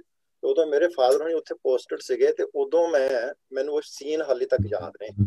ਮੈਂ ਨਾ ਜਵਾਲਾ ਜੀ ਮਾਤਾ ਦੇ ਉੱਤਰ ਗਏ ਸੀਗੇ ਦੇਖਣ ਵਾਸਤੇ, ਠੀਕ ਹੈ ਜੀ? ਤੇ ਉੱਥੇ ਉੱਥੇ ਤਿੰਨ ਲਾਟਾਂ ਜਗਦੀਆਂ ਸੀਗੀਆਂ ਧਰਤੀ ਦੇ ਵਿੱਚੋਂ ਨਿਕਲਦੀਆਂ ਆ ਲਾਟਾਂ। ਤੇ ਉਹ ਕਿਹਾ ਜਾਂਦਾ ਸੀਗਾ ਕਿ ਜਵਾਲਾ ਮਾਤਾ ਜੀ, ਅਸੀਂ ਵੀ ਮੱਥੇ ਟੇਕ ਕੇ, ਅਸੀਂ ਮੈਂ ਤੇ ਬੱਚਾ ਹੀ ਸੀਗਾ, ਜਿਹਨੂੰ ਜਿਸ ਤਰ੍ਹਾਂ ਪੇਰੈਂਟਸ ਕਰਦੇ ਸੀ, ਉਵੇਂ ਕਰਨਾ ਸੀਗਾ ਰਾਈਟ ਤੇ ਲੇਕਿਨ ਉਸ ਤੋਂ ਬਾਅਦ ਪਤਾ ਲੱਗਾ ਸੀਗਾ ਮੈਨੂੰ ਕੁਝ ਸਾਲ ਪਹਿਲਾਂ ਕਿ ਉਹਦੇ ਵਿੱਚੋਂ ਇੱਕ ਤੇ ਬਿਲਕੁਲ ਬੰਦ ਹੋ ਚੁੱਕੀ ਹੈ। ਸੋ ਜਿਹੜੀਆਂ ਦੋ ਉਹ ਮੱਧਮ ਹੋ ਚੁੱਕੀਆਂ। ਹੁਣ ਮੈਨੂੰ ਪਤਾ ਨਹੀਂ ਇਸ ਵੇਲੇ ਪ੍ਰੈਜ਼ੈਂਟ ਸਿਚੁਏਸ਼ਨ ਕੀ ਆ ਕਿ ਇੱਕ ਹੈਗੀ ਜਗਦੀ ਜਾਂ ਦੂਸਰੀ ਵੀ ਖਤਮ ਹੋ ਗਈ। ਸੋ ਇਸ ਤਰ੍ਹਾਂ ਹੌਲੀ ਹੌਲੀ ਉੱਥੇ ਹੈ ਕੀ ਸੀਗੀ ਕਿ ਫਾਸਟ ਫੋਰਸ ਸੀ, ਥੱਲੇ ਨਿਕਲਦੀ ਆਟੋਮੈਟਿਕਲੀ ਨਿਕਲਦੀ ਸੀ, ਬਲਦੀ ਸੀਗੀ ਤੇ ਬੜੀ ਜਾ ਰਹੀ ਸੀ, ਲੇਕਿਨ ਜਦੋਂ ਪ੍ਰੈਸ਼ਰ ਘਟ ਗਿਆ, ਮੁੱਕ ਗਈ ਤੇ ਇੱਕ ਲਾਟ ਜਿਹੜੀ ਬੰਦ ਹੋ ਗਈ। ਤੇ ਇਸ ਤਰ੍ਹਾਂ, ਹਾਂਜੀ, ਮਤਲਬ ਕਿ ਉਸ ਵੇਲੇ ਉਹਨੂੰ ਮਾਤਾ ਦੇ ਨਾਲ ਜੋੜਿਆ ਜਾਂਦਾ ਸੀ। ਹੁਣ ਇੱਥੇ ਜਿਸ ਵੇਲੇ ਸਾਡੇ ਧਰਮ ਦੇ ਵਿੱਚ ਇਹ ਗੱਲ ਆਉਂਦੀ ਹੈ, ਜਿਸ ਜਿਸ ਤਰ੍ਹਾਂ ਹੁਣ ਪੰਜਾਬ ਦੇ ਵਿੱਚ ਕਈ ਜਗ੍ਹਾ ਤੇ 300 ਫੁੱਟ ਡੂੰਘਾ ਆ ਪਾਣੀ। ਤੇ ਜੇ ਗੁਰੂ ਮਹਾਰਾਜ ਦੀ ਸ਼ਕਤੀ ਤੇ ਅੱਜ ਵੀ ਉਸੇ ਤਰ੍ਹਾਂ ਹੀ ਕਾਇਮ ਹੈ ਨਾ ਜੀ, ਗੁਰੂ ਮਹਾਰਾਜ ਦੀ ਸ਼ਕਤੀ ਨਹੀਂ ਘਟੀ ਹੈਗੀ। ਲੇਕਿਨ ਪਾਣੀ ਹਾਲੀ ਪੰਜਾਬ ਦਾ ਪਾਣੀ ਦਿਨੋਂ ਦਿਨ ਘਟਦਾ ਜਾ ਰਿਹਾ। ਯੂ نو ਦੂਸਰੀ ਗੱਲ ਜਿਹੜੀ ਜਿਹੜੀ ਨਿਸ਼ਾਨ ਦੀ ਗੱਲ ਹੁੰਦੀ ਹੈ ਕਿ ਪੈਰ ਦੇ ਘੋੜੇ ਦੇ ਪੈਰ ਦੇ ਨਿਸ਼ਾਨ ਹੈਗੇ ਆ। ਹੁਣ ਜਿਸ ਤਰ੍ਹਾਂ ਜਿਹੜੇ ਸਾਇੰਟਿਸਟ ਹੈਗੇ ਆ, ਜਿਹੜੇ ਲੱਭਦੇ ਚੀਜ਼ਾਂ ਨੂੰ, ਉਹਨਾਂ ਨੂੰ ਕਈ ਜਗ੍ਹਾ ਦੇ ਉੱਤੇ ਪਹਾੜਾਂ ਦੇ ਵਿੱਚੋਂ, ਜੰਗਲਾਂ ਦੇ ਵਿੱਚੋਂ ਡਾਇਨਾਸੌਰ ਦੇ ਨਿਸ਼ਾਨ ਵੀ ਪੈਰਾਂ ਦੇ ਮਿਲਦੇ, ਉਹਦੇ ਤੋਂ ਅੰਦਾਜ਼ਾ ਲਾਉਂਦੇ ਆ ਕਿ ਇੱਥੇ ਇਸ ਤਰ੍ਹਾਂ ਦੇ ਪੁਰਾਣੇ ਲੋਕ ਹੋਣੇ ਆ ਜਾਂ ਇਸ ਤਰ੍ਹਾਂ ਦੇ ਜਾਨਵਰ ਰਹਿੰਦੇ ਹੋਣੇ ਆ। ਤੇ ਇਸ ਤਰ੍ਹਾਂ ਨਹੀਂ ਹੋ ਸਕਦਾ ਵੀ ਕਿ ਇਸ ਤਰ੍ਹਾਂ ਦੀ ਚੀਜ਼ਾਂ ਹੋਣ ਜਿਹੜੀਆਂ, ਜਿਹੜੇ ਨਿਸ਼ਾਨ ਅਸੀਂ ਅੱਜ ਦੇਖਦੇ ਆ। ਯੂ نو ਦੂਜੇ ਪਾਸੇ ਇੱਕ ਚੀਜ਼, ਉਹ ਛੇਵੇਂ ਪਾਤਸ਼ਾਹ ਜੀ ਦੀ ਗੱਲ ਹੈ। 10ਵੇਂ ਪਾਤਸ਼ਾਹ ਜੀ ਦੇ ਸਹਿਬਜ਼ਾਦੇ, ਛੋਟੇ ਸਹਿਬਜ਼ਾਦੇ ਜਦੋਂ ਸ਼ਹੀਦ ਹੁੰਦੇ ਆ ਜੀ, ਉਸ ਤੋਂ ਬਾਅਦ ਜਿਹੜੀ ਨੀਹਾਂ ਦੇ ਵਿੱਚ ਚਿਣੇ ਗਏ ਸੀ ਉਹਨਾਂ ਨੂੰ, ਠੀਕ ਹੈ ਜੀ, ਉਹ ਨੀਆਂ ਦਾ ਅੱਜ ਥੇ ਨਹੀਂ ਹੈ ਲੱਭਦਾ ਉੱਥੇ ਕਿਤੇ ਵੀ। ਮੈਂ 2017 ਦੇ ਵਿੱਚ ਗਿਆ ਸੀ ਤੇ ਉਸ ਪਾਸੇ ਲੰਘ ਰਹੇ ਚੰਡੀਗੜ੍ਹ ਨੂੰ ਜਾ ਰਹੇ ਸੀਗੇ ਤੇ ਅਸੀਂ ਕਿਹਾ ਵੀ ਬੱਚਿਆਂ ਨੂੰ ਦਰਸ਼ਨ ਕਰਾ ਕੇ ਜਾਣਾ। ਤੇ ਉੱਥੇ ਮੈਂ ਜਿਹੜੇ ਸੇਵਾਦਾਰ ਸੀਗੇ ਉਹਨਾਂ ਨੂੰ ਪੁੱਛਿਆ ਕਿ ਭਾਈ ਸਾਹਿਬ ਜਿੱਥੇ ਐਗਜ਼ੈਕਟਲੀ ਬੱਚਿਆਂ ਨੂੰ ਸ਼ਹੀਦ ਕੀਤਾ ਗਿਆ ਸੀ, ਜਿਹੜੀ ਦੀਵਾਰ ਸੀ, ਉਹ ਕਿਹੜੀ ਜਗ੍ਹਾ ਤੇ ਸੀ? ਉਹ ਆਸਾ-ਪਾਸਾ ਦੇਖਦਾ ਕਈ ਚਰ ਕਈ ਚਰ ਦੇਖ ਕੇ ਬਾਅਦ ਚੋਂ ਇਸ਼ਾਰਾ ਕਰ ਦਿੱਤਾ। ਉਹ ਜਿੱਥੇ ਜੀ ਮਹਾਰਾਜ ਦਾ ਪ੍ਰਕਾਸ਼ ਜਿਸ ਥੜੇ ਤੇ ਉੱਥੇ ਸੀ। ਸੋ ਯੂ ਮੈਂ, ਮੇਰਾ ਸਿਰਫ ਪੁਆਇੰਟ ਇਹ ਮੈਂ ਕੰਡੈਮ ਨਹੀਂ ਕਰ ਰਿਹਾ। ਮੈਂ ਸਿਰਫ ਇਹ ਕਹਿ ਰਿਹਾ ਕਿ 10ਵੇਂ ਪਾਤਸ਼ਾਹ ਜੀ ਦੇ ਸਹਿਬਜ਼ਾਦੇ ਉਹ ਤੇ ਬਹੁਤ ਬਾਅਦ ਹੋਏ। ਉਹਨਾਂ ਦੀ ਉਹ ਜਗ੍ਹਾ ਜਿਹੜੀ ਹੈ, ਉਹ ਸਾਡੇ ਕੋਲ ਇਸ ਵੇਲੇ ਨਹੀਂ ਹੈਗੀ। ਓਕੇ ਜੀ, ਉਹ ਨਹੀਂ ਲੱਭਣ ਦੀ ਜਿੱਥੇ ਜਿਹੜਾ ਟੋਡਰ ਮੱਲ ਨੇ ਪੈਸੇ ਰੱਖ ਕੇ, ਪੈਸੇ ਜਿਹੜੇ ਖੜੇ ਕਰਕੇ ਪੈਸੇ ਉਹਨਾਂ ਦੇ ਵਾਸਤੇ, ਸੰਸਕਾਰ ਵਾਸਤੇ ਜਗ੍ਹਾ ਲਈ ਸੀ, ਉਹ ਵੀ ਐਗਜ਼ੈਕਟਲੀ ਜਗ੍ਹਾ ਇਸ ਵੇਲੇ ਸਾਨੂੰ ਨਹੀਂ ਲੱਭ ਰਹੀ। ਠੀਕ ਹੈ ਜੀ? ਉਹ ਤੇ ਖੁਰਦ-ਬੁਰਦ ਹੋ ਗਈਆਂ, ਲੇਕਿਨ ਇਹ ਸੋਨੇ ਪਾਤਸ਼ਾਹ ਜੀ ਦੇ ਟਾਈਮ ਤੇ ਜਾਂ ਉਸ ਟਾਈਮ ਤੋਂ ਪਹਿਲਾਂ ਦੀਆਂ ਗੱਲਾਂ ਦੈਟਸ ਆਲ ਮੇਰਾ ਪੁਆਇੰਟ ਹੈ ਕਿ ਇਸ ਤਰ੍ਹਾਂ ਵੀ ਇਹ ਹੋ ਸਕਦਾ ਕਿ ਇਤਿਹਾਸ ਹੀ ਇਸ ਤਰ੍ਹਾਂ ਬਸ ਲਿਖ ਦਿੱਤਾ ਗਿਆ, ਸਿਰਫ ਇਹਨੂੰ ਚਮਤਕਾਰੀ ਬਣਾਉਣ ਦੇ ਵਾਸਤੇ ਤੇ ਅਸੀਂ ਉਹਨੂੰ ਉਸੇ ਤਰ੍ਹਾਂ ਹੀ ਸੁਣੀ ਜਾ ਰਹੇ ਵਿਚ ਇਜ਼ ਓਕੇ ਜਦੋਂ ਸੁਣਨੇ ਕੋਈ ਗਲਤ ਗੱਲ ਤੇ ਹੈ ਨਹੀਂ। ਤੇ ਲੇਕਿਨ ਕਦੇ ਨਾ ਕਦੇ ਅਸੀਂ ਐਸਾ ਵੀ ਕਰ ਸਕਦੇ ਹਾਂ ਕਿ ਨਹੀਂ ਜੀ, ਇਹ ਇਸ ਤਰ੍ਹਾਂ ਹੋ ਸਕਦਾ ਜਾਂ ਇਸ ਤਰ੍ਹਾਂ ਨਹੀਂ ਹੋ ਸਕਦਾ। ਸੋ ਈਵਨ ਜਿਹੜਾ ਹੁਣ ਜਿਹੜਾ ਤੁਸੀਂ ਪਟਿਆਲੇ ਦਾ ਜਿਹੜਾ ਦੁੱਖ ਨਿਵਾਰਨ ਗੁਰਦੁਆਰਾ ਹੈ, ਉਹਦਾ ਉਹ ਅਸਲੀ ਸਥਾਨ ਨਹੀਂ ਹੈ। ਉਹ ਕਹਿੰਦੇ ਆ, ਮੈਂ ਸੁਣਿਆ ਇਹ ਗੱਲ ਕਿ ਉਸ ਵੇਲੇ ਜਿਹੜਾ, ਜਿਸ ਵੇਲੇ ਗੁਰਦੁਆਰਾ ਬਣਨਾ ਸੀ, ਜਿਹੜਾ ਪਟਿਆਲੇ ਦਾ ਮਹਾਰਾਜਾ ਸੀ, ਉਹਨੇ ਸ਼ਰਾਬ ਪੀਣੀ ਹੁੰਦੀ ਸੀ ਰਾਤ ਨੂੰ, ਕੁੱਕੜ ਸ਼ੁਕਰ ਛਕਣੇ ਹੁੰਦੇ ਸੀਗੇ। ਤੇ ਉਹਨੇ ਕਹਿਤਾ ਕਿ ਮੇਰੇ ਨਾਲ ਇਹਨਾਂ ਨੇ ਰੌਲਾ ਪਾਉਣਾ ਐਕਚੁਅਲੀ ਉਹਦੇ, ਇਹ ਉਹਦੇ ਮਹਿਲ ਦੇ ਲਾਗੇ ਥਾਂ ਐਕਚੁਅਲੀ ਥਾਂ ਉਹ ਸੀ। ਤੇ ਉਹਨੇ ਕਿਸੇ ਤੋਂ ਕਿਸੇ ਪ੍ਰੀਸਟ ਤੋਂ ਖਵਾ ਦਿੱਤਾ ਕਿ ਨਹੀਂ ਗੁਰੂ, ਉਹ ਜਿਹੜੀ ਜਗ੍ਹਾ ਥੋੜੀ ਜਿਹੀ ਪਾਸੇ, ਉਹ ਜਗ੍ਹਾ ਹੈ ਦੂਸਰੀ ਜਗ੍ਹਾ ਤੇ। ਉੱਥੇ ਫਿਰ ਗੁਰਦੁਆਰਾ ਬਣ ਗਿਆ ਸੀ ਕਹਿੰਦੇ। ਹੁਣ ਉਹ ਗੁਰਦੁਆਰਾ ਜਿਹੜਾ ਅਸਲੀ ਜਗ੍ਹਾ ਤੋਂ ਹਟਾ ਕੇ ਬਣਾ ਦਿੱਤਾ ਗਿਆ ਤੇ ਕੱਲ ਦੀ ਗੱਲ ਹੈ ਹਾਲੀ।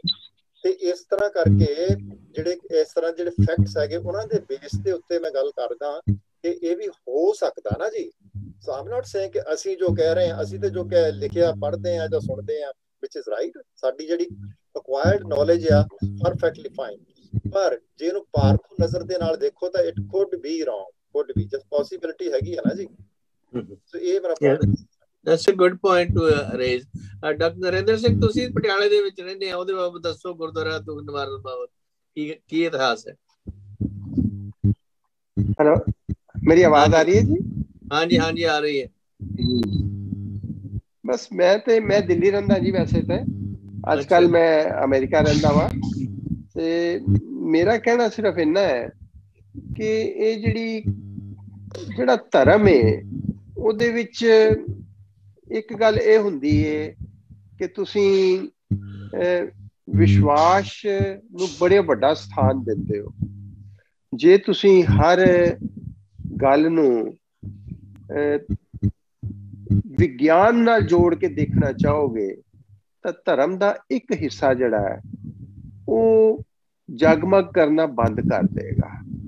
ਸਿੱਖ ਧਰਮ ਵਿੱਚ ਸਾਡੇ ਕੋਲ ਸਭ ਤੋਂ ਵੱਡੀ ਜਿਹੜੀ ਗੱਲ ਹੈ ਉਹ ਹੈ ਸਾਡੇ ਕੋਲ ਗੁਰਬਾਣੀ।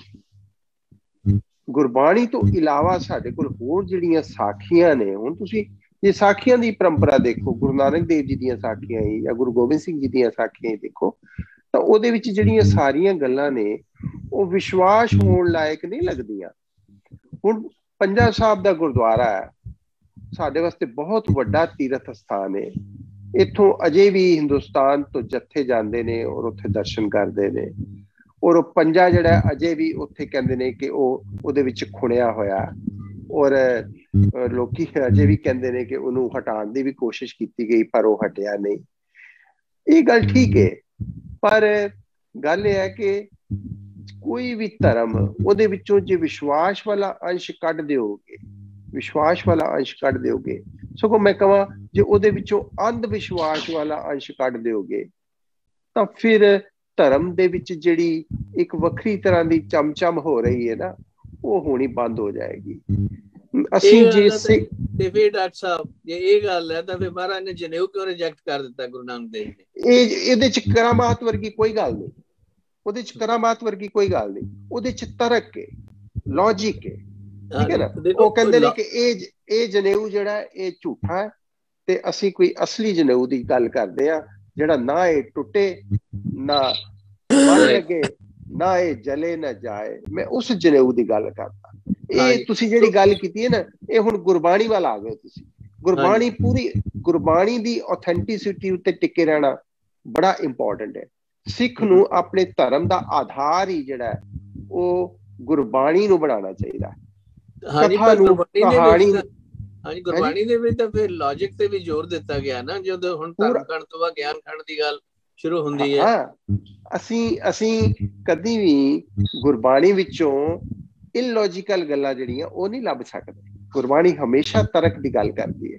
ਹਾਂ, ਸਾਖੀਆਂ ਜਿਹੜੀਆਂ ਨੇ ਕਿ ਪੱਥਰ ਨੂੰ, ਪਹਾੜ ਨੂੰ ਰੋਕ ਲਿੱਤਾ ਗਿਆ। ਹਾਂਜੀ, ਸਾਖੀਆਂ ਕਿ ਘੋੜਿਆਂ ਦੇ ਪੈਰਾਂ ਦੇ ਨਿਸ਼ਾਨ ਜਿਹੜੇ ਨੇ, ਉਹ ਜੇ ਵੀ ਮਿਲਦੇ ਨੇ।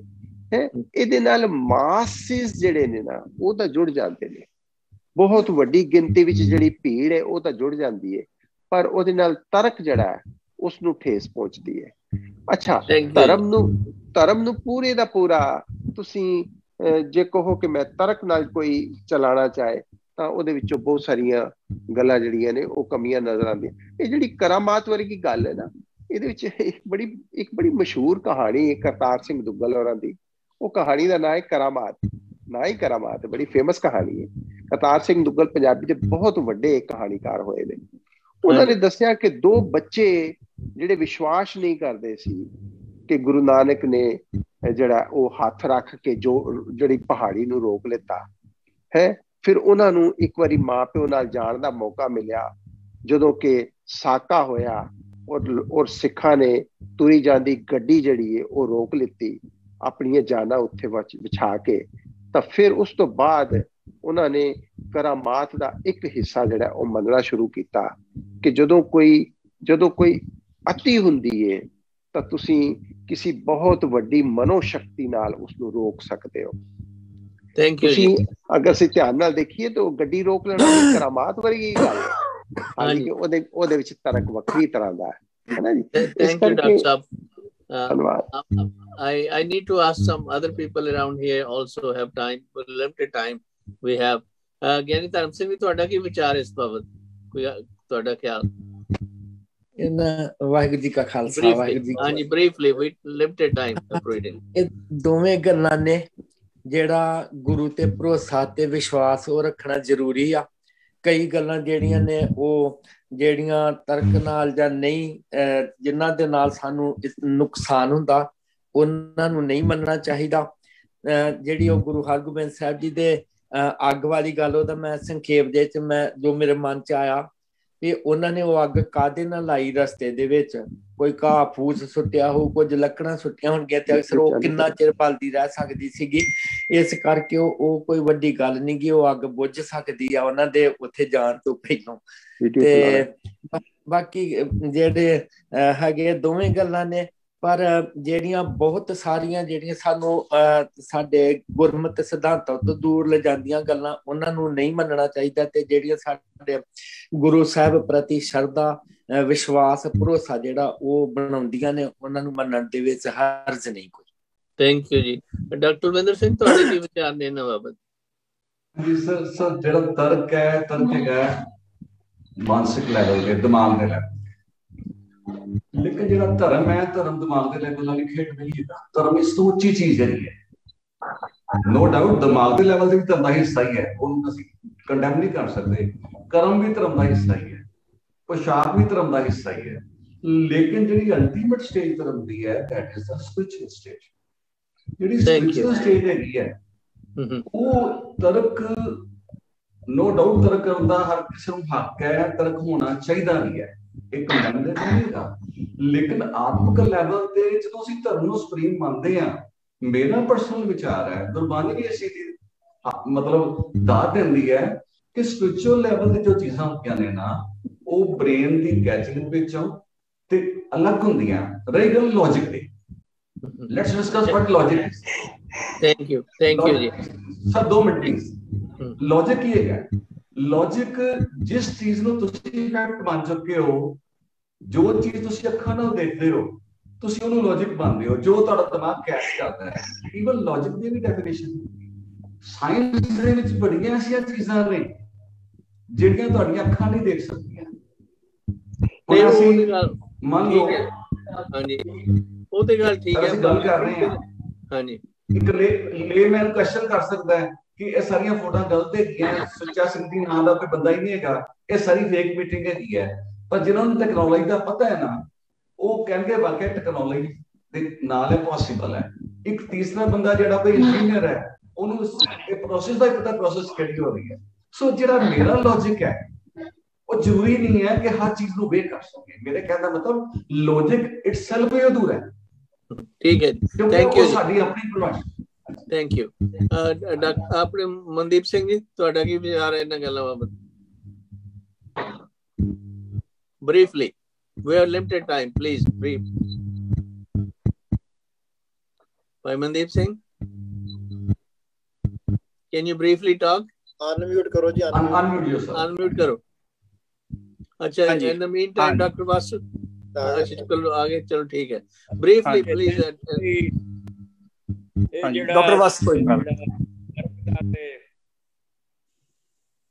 ਹੈਲੋ ਇਹ ਜਿਹੜਾ ਸਵਾਲ ਹੈ ਡਿਸਕਸ ਕਰ ਰਹੇ ਹਾਂ। ਇਹ ਦਰਸਲ ਜਿਹੜਾ ਸਮਾਂ ਹੁੰਦਾ ਨਾ ਪੁਰਾਣੇ ਸਮੇਂ ਅੰਦਰ ਜੋ ਮਨੁੱਖ ਉਸ ਸਮੇਂ ਜੀ ਰਹੇ ਸਨ ਉਹ ਗੁਰੂ ਦੀ ਮਹਾਨਤਾ ਤਾਂ ਹੀ ਸਮਝਦੇ ਸਨ ਜੇ ਗੁਰੂ ਦੇ ਨਾਲ ਕਰਾਮਾਤ ਮਾੜੀ ਮੋਟੀ ਜੋੜੀ ਜਾਏ। ਜਾਨੀ ਜਿਹੜਾ ਈਡੀਅਮ ਹੈ ਸਮੇਂ ਦਾ ਉਸ ਸਮੇਂ ਜਿਹੜੇ ਲੋਕ ਨੇ, ਗੁਰੂ ਨੂੰ ਮਹਾਨ ਮੰਨਦੇ ਹੀ ਉਹਨੂੰ ਸਨ ਜਿਹੜਾ ਕਰਾਮਾਤ ਹੋ, ਕਰਾਮਾਤੀ ਹੋਵੇ। ਇਸ ਕਰਕੇ ਸਟੋਰੀਆਂ ਜਿਹੜੀਆਂ ਨੇ, ਇਹ ਕਾਫੀ ਹੱਦ ਤੱਕ ਜੋੜੀਆਂ ਜਾਂਦੀਆਂ ਨੇ। ਪਰ ਅੱਜ ਦਾ ਯੁੱਗ ਜਿਹੜਾ ਕਿਉਂਕਿ ਸਾਇੰਟਿਫਿਕ ਆ ਗਿਆ, ਵਿਗਿਆਨਕ ਆ ਗਿਆ, ਇਸ ਕਰਕੇ ਅੱਜ ਦੇ ਯੁੱਗ ਵਿੱਚ ਗੁਰੂ ਦੀ ਮਹਾਨਤਾ, ਵਿਚਾਰਾਂ ਦੀ ਮਹਾਨਤਾ ਨਹੀਂ ਗਿਣੀ ਜਾਏਗੀ। ਉਹਦੀ ਫਲਸਫੀ ਜਿਹੜੀ ਮਨੁੱਖ ਨੂੰ ਚੇਂਜ ਕਰਦੀ ਹੈ ਉਹਦੇ ਆਧਾਰ ਤੇ ਅੱਜ ਗੁਰੂਆਂ ਦੀ ਮਾਨਤਾ ਪਰਖੀ ਜਾਂਦੀ ਹੈ ਪੁਰਾਣੇ ਵਕਤਾਂ ਵਿੱਚ ਕਿਉਂਕਿ ਮਨੁੱਖ ਜਿਹੜਾ ਅਜੇ ਐਡਵਾਂਸ ਜਿਹੜਾ ਉਹਦਾ ਮਾਈਂਡ ਹੈ ਉਹਦਾ ਮੁਹਾਵਰਾ ਹੀ ਇਦਾਂ ਦਾ ਸੀ ਕਿ ਉਹ ਕਰਮਾਤੀ ਕਰਾਮਾਤੀ ਨੂੰ ਹੀ ਮਹਾਨ ਮੰਨਦਾ ਸੀ। ਇਸ ਕਰਕੇ ਥੋੜਾ ਜਿਹਾ ਦਾ ਜਿਹੜਾ ਸੁਭਾਅ ਹੈ ਉਹਦੇ ਅਨਸਾਰ ਕਰਮਾਤਾਂ ਉਸ ਸਮੇਂ ਜੁੜੀਆਂ ਜਾਂਦੀਆਂ ਸਨ। ਅਸਲ ਵਿੱਚ ਗੱਲ ਕੀ ਹੈ ਕਿ ਗੁਰੂ ਨਾਨਕ ਨੇ ਆਖਿਆ ਅਕਲੀ ਸਾਹਿਬ ਸੇਵੀਏ ਅਕਲੀ ਪਾਈਏ ਮਾਨ ਅਕਲੀ ਪੜ ਕੇ 부ਝੀਏ ਅਕਲੀ। ਕੀਚੇ ਦਾਨ ਆਖੇ ਰਾਓ ਇਹੋ ਹੋਰ ਗੱਲਾਂ ਸ਼ੈਤਾਨ। ਸਾਨੂੰ ਮਨੁੱਖੀ ਅਕਲ ਨੂੰ ਮਨੁੱਖੀ ਜਿਹੜਾ ਲੌਜੀਕ ਹੈ ਉਸ ਨੂੰ ਨਹੀਂ ਛੱਡਣਾ ਚਾਹੀਦਾ। ਪਰ ਨਾਲ ਨਾਲ ਸਾਨੂੰ ਇੱਕ ਵਿਸਮਾਦ ਦੀ ਜਿਹੜੀ ਅਵਸਥਾ ਹੈ ਜਿਵੇਂ ਭਾਈ ਵੀਰ ਸਿੰਘ ਨੇ ਕਿਹਾ ਕਿਉਂ ਹੋਇਆ ਤੇ ਕੀ ਕਿਉਂ ਹੋਇਆ? ਖਪ ਖਪ ਮਰੇ ਸਿਆਣੇ। ਉਸਰਾ ਪਵੇ ਤੂੰ ਕਿਉਂ ਜਿੰਦੇ? ਜਿਸਰਾ ਪੂਰ ਮਹਾਨੇ ਭਟਕਣ ਛੱਡ ਲਟਕ ਲਾ ਇੱਕੋ। ਖੀਵੀ ਹੋ ਖੁਸ਼ਮਾਨ ਖੀਵੀ ਹੋ ਸੁਖ ਮਾਣੀ ਹੋਸ਼ਾਂ ਨਾਲੋਂ ਮਸਤੀ ਚੰਗੀ। ਜਿਹੜੀ ਰੱਖਦੀ ਸਦਾ ਟਿਕਾਣਾ ਇਸ ਕਰਕੇ ਸਾਨੂੰ ਵਿਸਮਾਦ ਦੇ ਹਾਂਜੀ ਥੈਂਕ ਯੂ ਜੀ ਥੈਂਕ ਯੂ ਥੈਂਕ ਯੂ ਵੀ ਨਹੀਂ ਰੱਖਣੀ ਚਾਹੀਦੀ।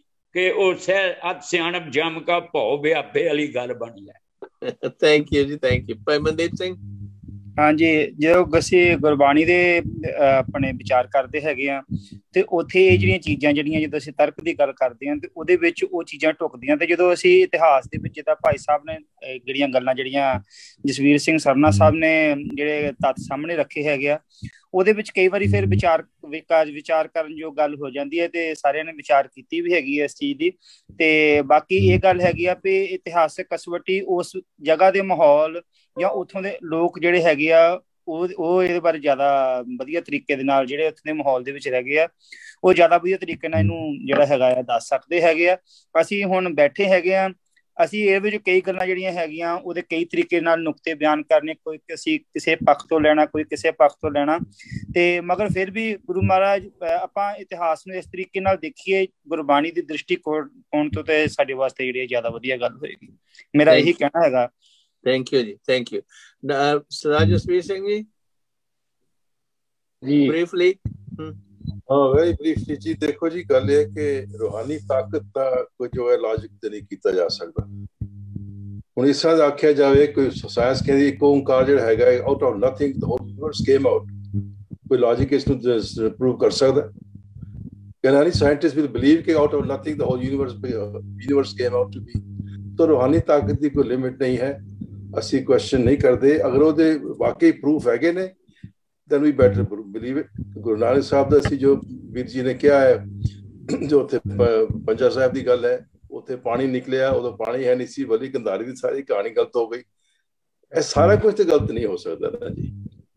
ਸਾਰਾ ਕੁਝ ਗਲਤ ਨਹੀਂ ਹੋ ਸਕਦਾ। ਗੁਰੂ ਸਾਹਿਬ ਦੀ ਜੋ ਕਹਾਣੀਆਂ ਨੇ, ਬਗਦਾਦ ਵਿੱਚ ਜਾ ਕੇ ਹੋਈਆਂ, ਜਾਂ ਅਰਬ ਜਿੱਥੇ ਰਹੇ ਨੇ ਉੱਥੇ ਜੋ ਜੋ ਗੱਲ ਉਹਨਾਂ ਦੀ ਕਹਾਣੀਆਂ ਨੇ ਪੁਖਤ ਲਿਖੀਆਂ ਗਈਆਂ ਨੇ by people who have been there so ਰੂਹਾਨੀ ਤਾਕਤ ਨੂੰ ਅਸੀਂ ਲੌਜੀਕ ਤੋਂ ਨਹੀਂ ਲੈ ਸਕਦੇ ਮੈਂ ਮਹਿਸੂਸ ਕਰਦਾ ਕਿ ਰੂਹਾਨੀ ਤਾਕਤ ਬੜੀ ਜ਼ਿਆਦਾ ਤਾਕਤ ਹੈ ਪਰ ਹਰ ਇੱਕ ਗੁਰੂ ਦੇ ਨਾਲ ਕੋਈ ਨਾ ਕੋਈ ਹੈ ਨਾ ਅਠੇ ਦੱਸਿਆ ਜਾਂਦਾ ਹੈ ਕਿ ਕਿਸ ਨੇ ਪੁੱਛਿਆ ਦੱਸੋ ਗੀਤਾ ਦੇ ਮਤਲਬ ਦੱਸੋ ਉਹਨਾਂ ਨੇ ਕਿਸੇ ਗੂੰਗੇ ਦੇ ਉੱਪਰ ਸਿਰ ਤੇ ਛੜੀ ਰੱਖੀ ਔਰ ਹੀ ਗੇਵ ਦੀ ਐਕਸਪਲੇਨੇਸ਼ਨ ਹੁਣ ਇਹ ਕਰਾਂ ਸਾਰੀਆਂ ਝੂਠੀਆਂ ਤੇ ਫਿਰ I I don't understand it this is very difficult to say But I do believe the power of uh, spirit, mm-hmm. it is beyond our human uh, logic. Thank you. Thank you. Ji. Uh, uh, Meghraj mm-hmm. Singh, you want to say something?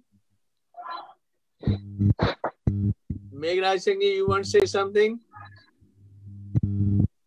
Acha Gyani, uh, Dr. Sarna, to see anything else you like to add or say? Dr. Sarna? ਤੁਹਾਨੂੰ ਆਵਾਜ਼ ਸੁਣ ਰਹੀ ਹੈ ਜੀ ਭਾਈ ਤੁਸੀਂ ਕੋਈ ਹੋਰ ਹੋਰ ਚੀਜ਼ ਕਹਿਣੀ ਹੋਵੇ? ਹਾਂਜੀ ਵਾਹਿਗੁਰੂ ਜੀ ਹਾਂਜੀ ਕਰੋ ਗੱਲ। ਹਾਂਜੀ ਮੇਘਰਾਜ ਸਿੰਘ ਮੈਂ ਇੱਕ ਗੱਲ ਐਡ ਕਰਨੀ ਚਾਹ ਰਿਹਾ ਜਿਸ ਤਰ੍ਹਾਂ ਸਰਦਾਰ ਜਸਬੀਰ ਸਿੰਘ ਜੀ ਕਹਿੰਦੇ ਨੇ ਰੂਹਾਨੀ ਸ਼ਕਤੀ ਦੇ ਰੂਹਾਨੀ ਹੋਰ ਹੁੰਦੀ। ਇਹ ਸਹੀ ਗੱਲ ਹੈ ਇਹਨਾਂ ਦੀ, ਕਿਉਂਕਿ ਜੇ ਇੱਕ ਪਾਸੇ ਤਾਂ ਗੁਰੂ ਸਾਹਿਬ ਕਹਿੰਦੇ ਇਹ ਕਿ ਜਿਹੜੇ ਸੂਰਜ ਨੇ ਤੇ ਚੰਦ ਨੇ, ਇਹ ਦੀਵੇ ਵਰਗੇ ਨੇ, ਮਤਲਬ ਗੁਰੂ ਉਹਦੇ ਸਾਹਮਣੇ ਰੱਬ ਦੇ ਅੱਗੇ, ਉਹਦੀ ਆਰਤੀ ਕਰ ਰਹੇ ਨੇ ਤੇ ਇਹ ਜਿਹੜਾ ਮਤਲਬ ਅਸਮਾਨ ਨੇ ਉਹ ਥੜ ਵਰਗਾ ਹੈ। ਤੇ ਉਹਨਾਂ ਦੀ ਸ਼ਕਤੀ ਇੰਨੀ ਤਕੜੀ ਹੈ ਕਿ ਉਹ ਕਹਿੰਦੇ, ਇੱਕ ਪਾਸੇ ਦੇ ਉਹਦੇ ਦੀਵੇ ਨੂੰ ਮਤਲਬ ਚੰਦ ਸੂਰਜ ਨੂੰ ਦੀਵਾ ਕਹਿੰਦੇ, ਤਾਰਾਂ ਨੂੰ ਕਹਿੰਦੇ ਇਹ ਹੀਰੇ ਮੋਤੀ ਨੇ। ਬਾਕੀ ਦੂਜੇ ਪਾਸੇ ਇਹ ਵੀ ਕਹਿੰਦੇ ਉਹ ਕਿ ਮੇਰੇ ਅੰਦਰ ਜਿਹੜੇ ਆਏ ਨਾ ਕਿ ਜੇਤਾ ਸਮੁੰਦਰ ਨੀਰ ਭਰਿਆ ਇਤੇ ਅਵਗਣ ਹਮਾਰੇ। ਤੋ ਮਤਲਬ ਇੰਨੇ ਤਗੜੀ ਸ਼ਖਸੀਅਤ ਜੋ ਮਤਲਬ ਚਾਂਦ ਤਾਰੋਂ ਨੂੰ ਦਿਵੇ ਵਰਗੇ ਕਹਿ ਰਹੇ ਉਹੀ ਕਹਿ ਰਹੇ ਕਿ ਮੇਰੇ ਅੰਦਰ ਇੰਨੇ ਅਵਗਣ ਭਰੇ ਹੋਏ ਨੇ ਕਿ ਅੱਜ ਕੱਲ ਦਾ ਬੰਦਾ ਜਿਹੜਾ ਹੈ ਉਹ ਕਹਿ ਸਕਦਾ ਮੇਰੇ ਅੰਦਰ ਅਵਗਣ ਹੈ ਤੇ ਰੂਹਾਨੀ ਸ਼ਕਤੀ ਦੀ ਗੱਲ ਕੁਝ ਹੋਰ ਉਹ ਸ਼ਕਤੀ ਤਾਂ ਉਹੀ ਪਛਾਣ ਸਕਦੇ ਜੇ ਤੇ ਜਿਹੜੇ ਉੱਥੇ ਤੱਕ ਪਹੁੰਚ ਗਏ। ਇਹਨੇ ਕਹਿੰਦੇ ਥੈਂਕ ਯੂ ਜੀ। ਥੈਂਕ ਯੂ ਹਾਂਜੀ, ਡਾਕਟਰ ਸਰਨਾ ਤੁਸੀਂ anything else you like to add us say differently ਜੀ, ਬਸ ਮੈਂ ਬਸ ਇਹ ਕਹਿਣ ਚਾਹੁੰਦਾ ਸਾਂ ਕਿ ਜਿਸ ਤਰ੍ਹਾਂ ਜੀ ਹੁਣ ਇਹਨਾਂ ਨੇ ਜ਼ਿਕਰ ਕੀਤਾ ਗੁਰੂ ਨਾਨਕ ਸਾਹਿਬ ਦਾ ਵਗੈਰਾ ਜੀ ਉਹ ਅਗਰ ਅਰਬ ਦੇਸ਼ਾਂ ਵਿੱਚ ਗਏ, ਮੱਕਾ ਫੇਰਿਆ, ਇਸ ਤਰ੍ਹਾਂ ਦੀ ਹੁਣ ਅਸੀਂ ਕਈ ਲੋਕ ਕਹਿੰਦੇ ਨਹੀਂ ਨਹੀਂ ਜੀ, ਉਹਨਾਂ ਦੀ ਅਕਲ ਫਿਰਦੀ ਸੀ ਜਾਂ ਜੋ ਵੀ ਹੋਇਆ, ਪਰ ਜਦੋਂ ਅਸੀਂ ਦੇਖਦੇ ਆ ਉੱਥੇ ਜਿਹੜੀਆਂ ਉੱਥੇ ਮਨੂਸਕ੍ਰਿਪਟਸ ਪਏ ਨੇ ਉਹ ਅਰਬੀ ਵਿੱਚ ਨੇ। ਉਹ ਅਰਬੀ ਤੋਂ ਉਹਨਾਂ ਵਿੱਚ ਲਿਖਿਆ ਕਿ ਕਿਸ ਤਰ੍ਹਾਂ ਦੀ ਗੁਰੂ ਸਾਹਿਬ ਨੇ ਮੱਕਾ ਫੇਰਿਆ। ਉਹ ਤੇ ਉੱਥੇ ਦੇ ਬੰਦੇ ਸਨ। ਉਹਨਾਂ ਨੇ ਯਾਨੀ ਰਾਈਟਿੰਗ ਕੀਤੀ ਹੈ, ਸਾਰਾ ਕੁਝ ਕੀਤਾ। ਜੇ ਅਸੀਂ ਉਸ ਤਰ੍ਹਾਂ ਦੀ ਹਰ ਚੀਜ਼ ਨੂੰ ਕਹੀਏ ਕਿ ਨਹੀਂ ਜੀ, ਇਸ ਤਰ੍ਹਾਂ ਨਹੀਂ ਹੋਏਗਾ ਸਾਇੰਟੀਫਿਕ ਤੌਰ ਤੇ ਇਹ ਨਹੀਂ ਪੋਸੀਬਲ ਹੋ ਸਕਦਾ। ਤੇ ਅਸੀਂ origignal ਜਿਹੜੇ ਸਕ੍ਰਿਪਟਸ ਨੇ ਉੱਥੇ ਪਏ ਉਹਨਾਂ ਵਿੱਚ ਹਰ ਮੂਵਮੈਂਟ ਗੁਰੂ ਸਾਹਿਬ ਦੀ ਦਿਖੀ ਗਈ ਹੈ, ਕਿਸ ਤਰ੍ਹਾਂ ਕੀ ਹੋਇਆ, ਕਿੱਥੇ ਗੁਰੂ ਸਾਹਿਬ ਬੈਠੇ ਨੇ, ਕੀ ਵਿਚਾਰਾਂ ਹੋਈਆਂ ਨੇ। ਤੇ ਅਸੀਂ ਉਸ ਤਰ੍ਹਾਂ ਦੀ ਹਰ ਚੀਜ਼ ਜੇ ਅਸੀਂ ਜੋ ਕਿ ਸੰਦਰਭ ਵਿੱਚ ਵਿਗਿਆਨ ਨਾਲ ਜੋੜ ਕੇ ਵੇਖੀਏ, ਤੇ ਉਹ ਪੋਸੀਬਲ ਨਹੀਂ ਕਿਉਂਕਿ ਰੋਹਾਨੀਅਤ ਦੀ ਆਪਣੀ ਸ਼ਕਤੀ ਹੁੰਦੀ ਹੈ। ਰੋਹਾਨੀਅਤ ਵਿੱਚ ਹੀ ਗੁਰੂ ਸਾਹਿਬ ਯਾਨੀ ਇਹੋ ਜਿਹੇ ਚਮਤਕਾਰ ਦੱਸਦੇ ਨੇ, ਉਹ ਸਿਰਫ ਰੋਹਾਨੀਅਤ ਦੇ ਲੀਆਂ ਤੇ ਤੁਰਨ ਵਾਲੇ ਬੰਦੇ ਨੂੰ ਹੀ ਨਜ਼ਰ ਆ ਸਕਦੇ ਨੇ। ਹੋਰ ਆਮ ਬੰਦਾ ਨਹੀਂ ਉਹ ਵੇਖ ਸਕਦਾ। ਜੀ। Thank you anyone else like to make any comments please ਹਾਂਜੀ ਮੈਂ ਇੱਕ ਗੱਲ ਕਰਨੀ ਚਾਹੁੰਦਾ। ਸਾਡੇ ਨਾ ਇੱਕ ਕੋੜੀ ਹੁੰਦਾ ਹੁੰਦਾ ਸੀ ਉਹਦਾ ਨਾਮ ਸੀ ਬਦੂਕਾ ਦੀਆਂ ਸ਼ਹਿਰ ਤੋਂ। ਤੇ ਇੱਕ ਗੱਲ ਉਹ ਉਹ ਆਪ ਦੱਸਦਾ ਹੈ ਕਹਿੰਦੇ ਵੀ ਜਿਹੜਾ ਤਰਨ ਤਾਰਨ ਦਾ ਸਰੋਵਰ ਆ ਵੀ ਉਹਦੇ ਵਿੱਚੋਂ ਵੀ ਕੋਈ ਕੋੜਾ ਰਾਜੀ ਹੋ ਸਕਦਾ ਕਿ ਨਹੀਂ ਇਹ ਇਹ ਬਣਾਇਆ ਜਾਂਦਾ ਨਾ ਕਿ ਉੱਥੇ ਗੁਰੂ ਸਾਹਿਬ ਜੀ ਨੇ ਕੋੜੀ ਆਸ਼ਰਮ ਬਣਾਇਆ ਸੀ ਉਹਨਾਂ ਦਾ ਇਲਾਜ ਕੀਤਾ ਸੀਗਾ। ਜਿਹੜੀ ਜਿਹੜੀ ਸਿਧਾਂਤਕ ਹੈਗੀ ਗੱਲ ਇਹ ਤੇ ਇਹ ਆ ਵੀ ਜਿਹੜਾ ਸਰੀਰਕ ਰੋਗਾਂ ਦਾ ਇਲਾਜ ਜਿਹੜਾ ਆ ਉਹ ਮੈਡੀਕਲ ਤਰੀਕੇ ਦੇ ਨਾਲ ਹੀ ਕੀਤਾ ਜੇ ਉਹ ਭਾਵੇਂ ਆਯੁਰਵੈਦ ਹੋਏ ਭਾਵੇਂ ਐਲੋਪੈਥੀ ਹੋਏ ਜੋ ਮਰਜ਼ੀ ਹੋਏ। ਤੇ ਪਰ ਉਹ ਕਹਿੰਦਾ ਸੀ ਵੀ ਅਸੀਂ ਜੱਦੀ ਪੁਸ਼ਤੀ ਕੋੜੇ ਸੀਗੇ ਵੀ ਸਾਡੀ ਆਲ ਦੇ ਵਿੱਚੋਂ ਕੋੜ ਜਾਂਦਾ ਨਹੀਂ ਸੀ। ਪਰ ਕਹਿੰਦਾ ਵੀ ਮੇਰਾ ਉੱਥੋਂ ਸਰੋਵਰ ਚੋਂ ਇਸ਼ਨਾਨ ਕਰਕੇ ਕੋੜ ਹਟਿਆ। ਇਹ ਕਹਿੰਦੇ ਵੀ ਹਰ ਸਾਲ ਇੱਕ ਬੰਦੇ ਦਾ ਜ਼ਰੂਰ ਹਟ ਜਾਂਦਾ ਆ। ਪਰ ਇਹ ਇਹ ਹੁਣ ਗੱਲ ਇਹ ਆ ਜਿਵੇਂ ਡਾਕਟਰ ਸਰਦਾਰ ਜਸਬੀਰ ਸਿੰਘ ਜੀ ਹੋਰਾਂ ਨੇ ਆਪਣੀ ਗੱਲ ਕੀਤੀ ਆ ਸਾਰੇ ਵੀ ਇਹ ਅਸਲ ਦੇ ਵਿੱਚ ਮੰਨਣ ਦਾ ਆ। ਜਿਹੜੇ ਮੰਨਦੇ ਆ ਉਹ ਉਹਨਾਂ ਦੇ ਅੰਦਰ ਕਈ ਵਾਰ ਆਤਮਿਕ ਤੌਰ ਤੇ ਇਹ ਪਾਵਰ ਆ ਜਾਂਦੀ ਆ ਵੀ ਉਹ ਆਪਣਾ ਸਾਰਾ ਕੁਝ ਕੁਰਬਾਨ ਕਰ ਸਕਦੇ। ਜਿਹੜਾ ਬੰਦਾ ਤਰਕ ਤੇ ਹੋਏ ਉਹ ਤਰਕ ਮੈਂ ਇਹਦਾ ਖੰਡਨ ਨਹੀਂ ਕਰਦਾ ਜ਼ਰੂਰੀ ਆ। ਪਰ ਭਰੋਸਾ ਤੇ ਵਿਸ਼ਵਾਸ ਜਿਹੜਾ ਆਪਣੇ ਗੁਰੂ ਤੇ ਉਹਨੂੰ ਸਮਰੱਥ ਕਹਿਣਾ ਸਮਝਣਾ ਜਿਹੜਾ ਆ ਉਹ ਮੇਰੇ ਖਿਆਲ ਚ ਆਤਮਿਕ ਤੌਰ ਤੇ ਬਹੁਤ ਜ਼ਰੂਰੀ ਆ। ਥੈਂਕ ਯੂ ਮੰਨੇ ਕੀ ਗੱਲ ਕਹੀ ਨਾ ਜਾਏ। ਹਾਂਜੀ। ਸਰ ਇੱਕ ਮਿੰਟ। ਸਰ ਇਹ ਬੜਾ ਔਖਾਨ ਹੈ ਕਰ ਰਿਹਾ ਕਿ eyes can't see thing which mind does not know ਇਹ ਤੇ ਸਾਰੇ ਆਪਾਂ ਗਾਰੰਟੀ ਕਰਦੇ ਆ। Eyes cannot see a thing which mind does not know similarly we can say mind cannot see a thing which spirit uh, soul does not know thank you ਹਾਂਜੀ ਜਸਵੀਰ ਸਿੰਘ ਜੀ ਹਾਂਜੀ ਇਜਾਜ਼ਤ ਹੋਵੇ ਤਾਂ ਮੈਂ ਤੁਹਾਨੂੰ ਆਪਣਾ ਇੱਕ ਪਰਸਨਲ ਐਕਸਪੀਰੀਅੰਸ ਦੱਸਾਂ ਜੋ ਮੇਰਾ ਆਪਣਾ ਨਹੀਂ ਹੋਇਆ ਇੱਕ ਮਿਸਟਰ ਵਸੂਦੇਵ ਹੋਇਆ ਉਹ ਹਾਂਜੀ ਸੂਰਤ ਵਿੱਚ ਰਹਿੰਦੇ ਸੀ ਸੂਰਤ ਵਿੱਚ ਤੇ ਉਹਨਾਂ ਨੂੰ ਕੈਂਸਰ ਹੋ ਗਿਆ ਸੀ, ਬਹੁਤ ਬੁਰੀ ਤਰ੍ਹਾਂ ਦਾ ਕੈਂਸਰ ਹੋ ਗਿਆ ਸੀ। ਸਾਰੇ ਉਹਨਾਂ ਦੀ ਬੋਨਸ ਵਿੱਚ ਚਲਾ ਗਿਆ ਸੀ ਉਹਨਾਂ ਈਰਿੰਗ ਇੱਕ ਕੰਨ ਖਤਮ ਖਤਮ ਹੋ ਗਿਆ।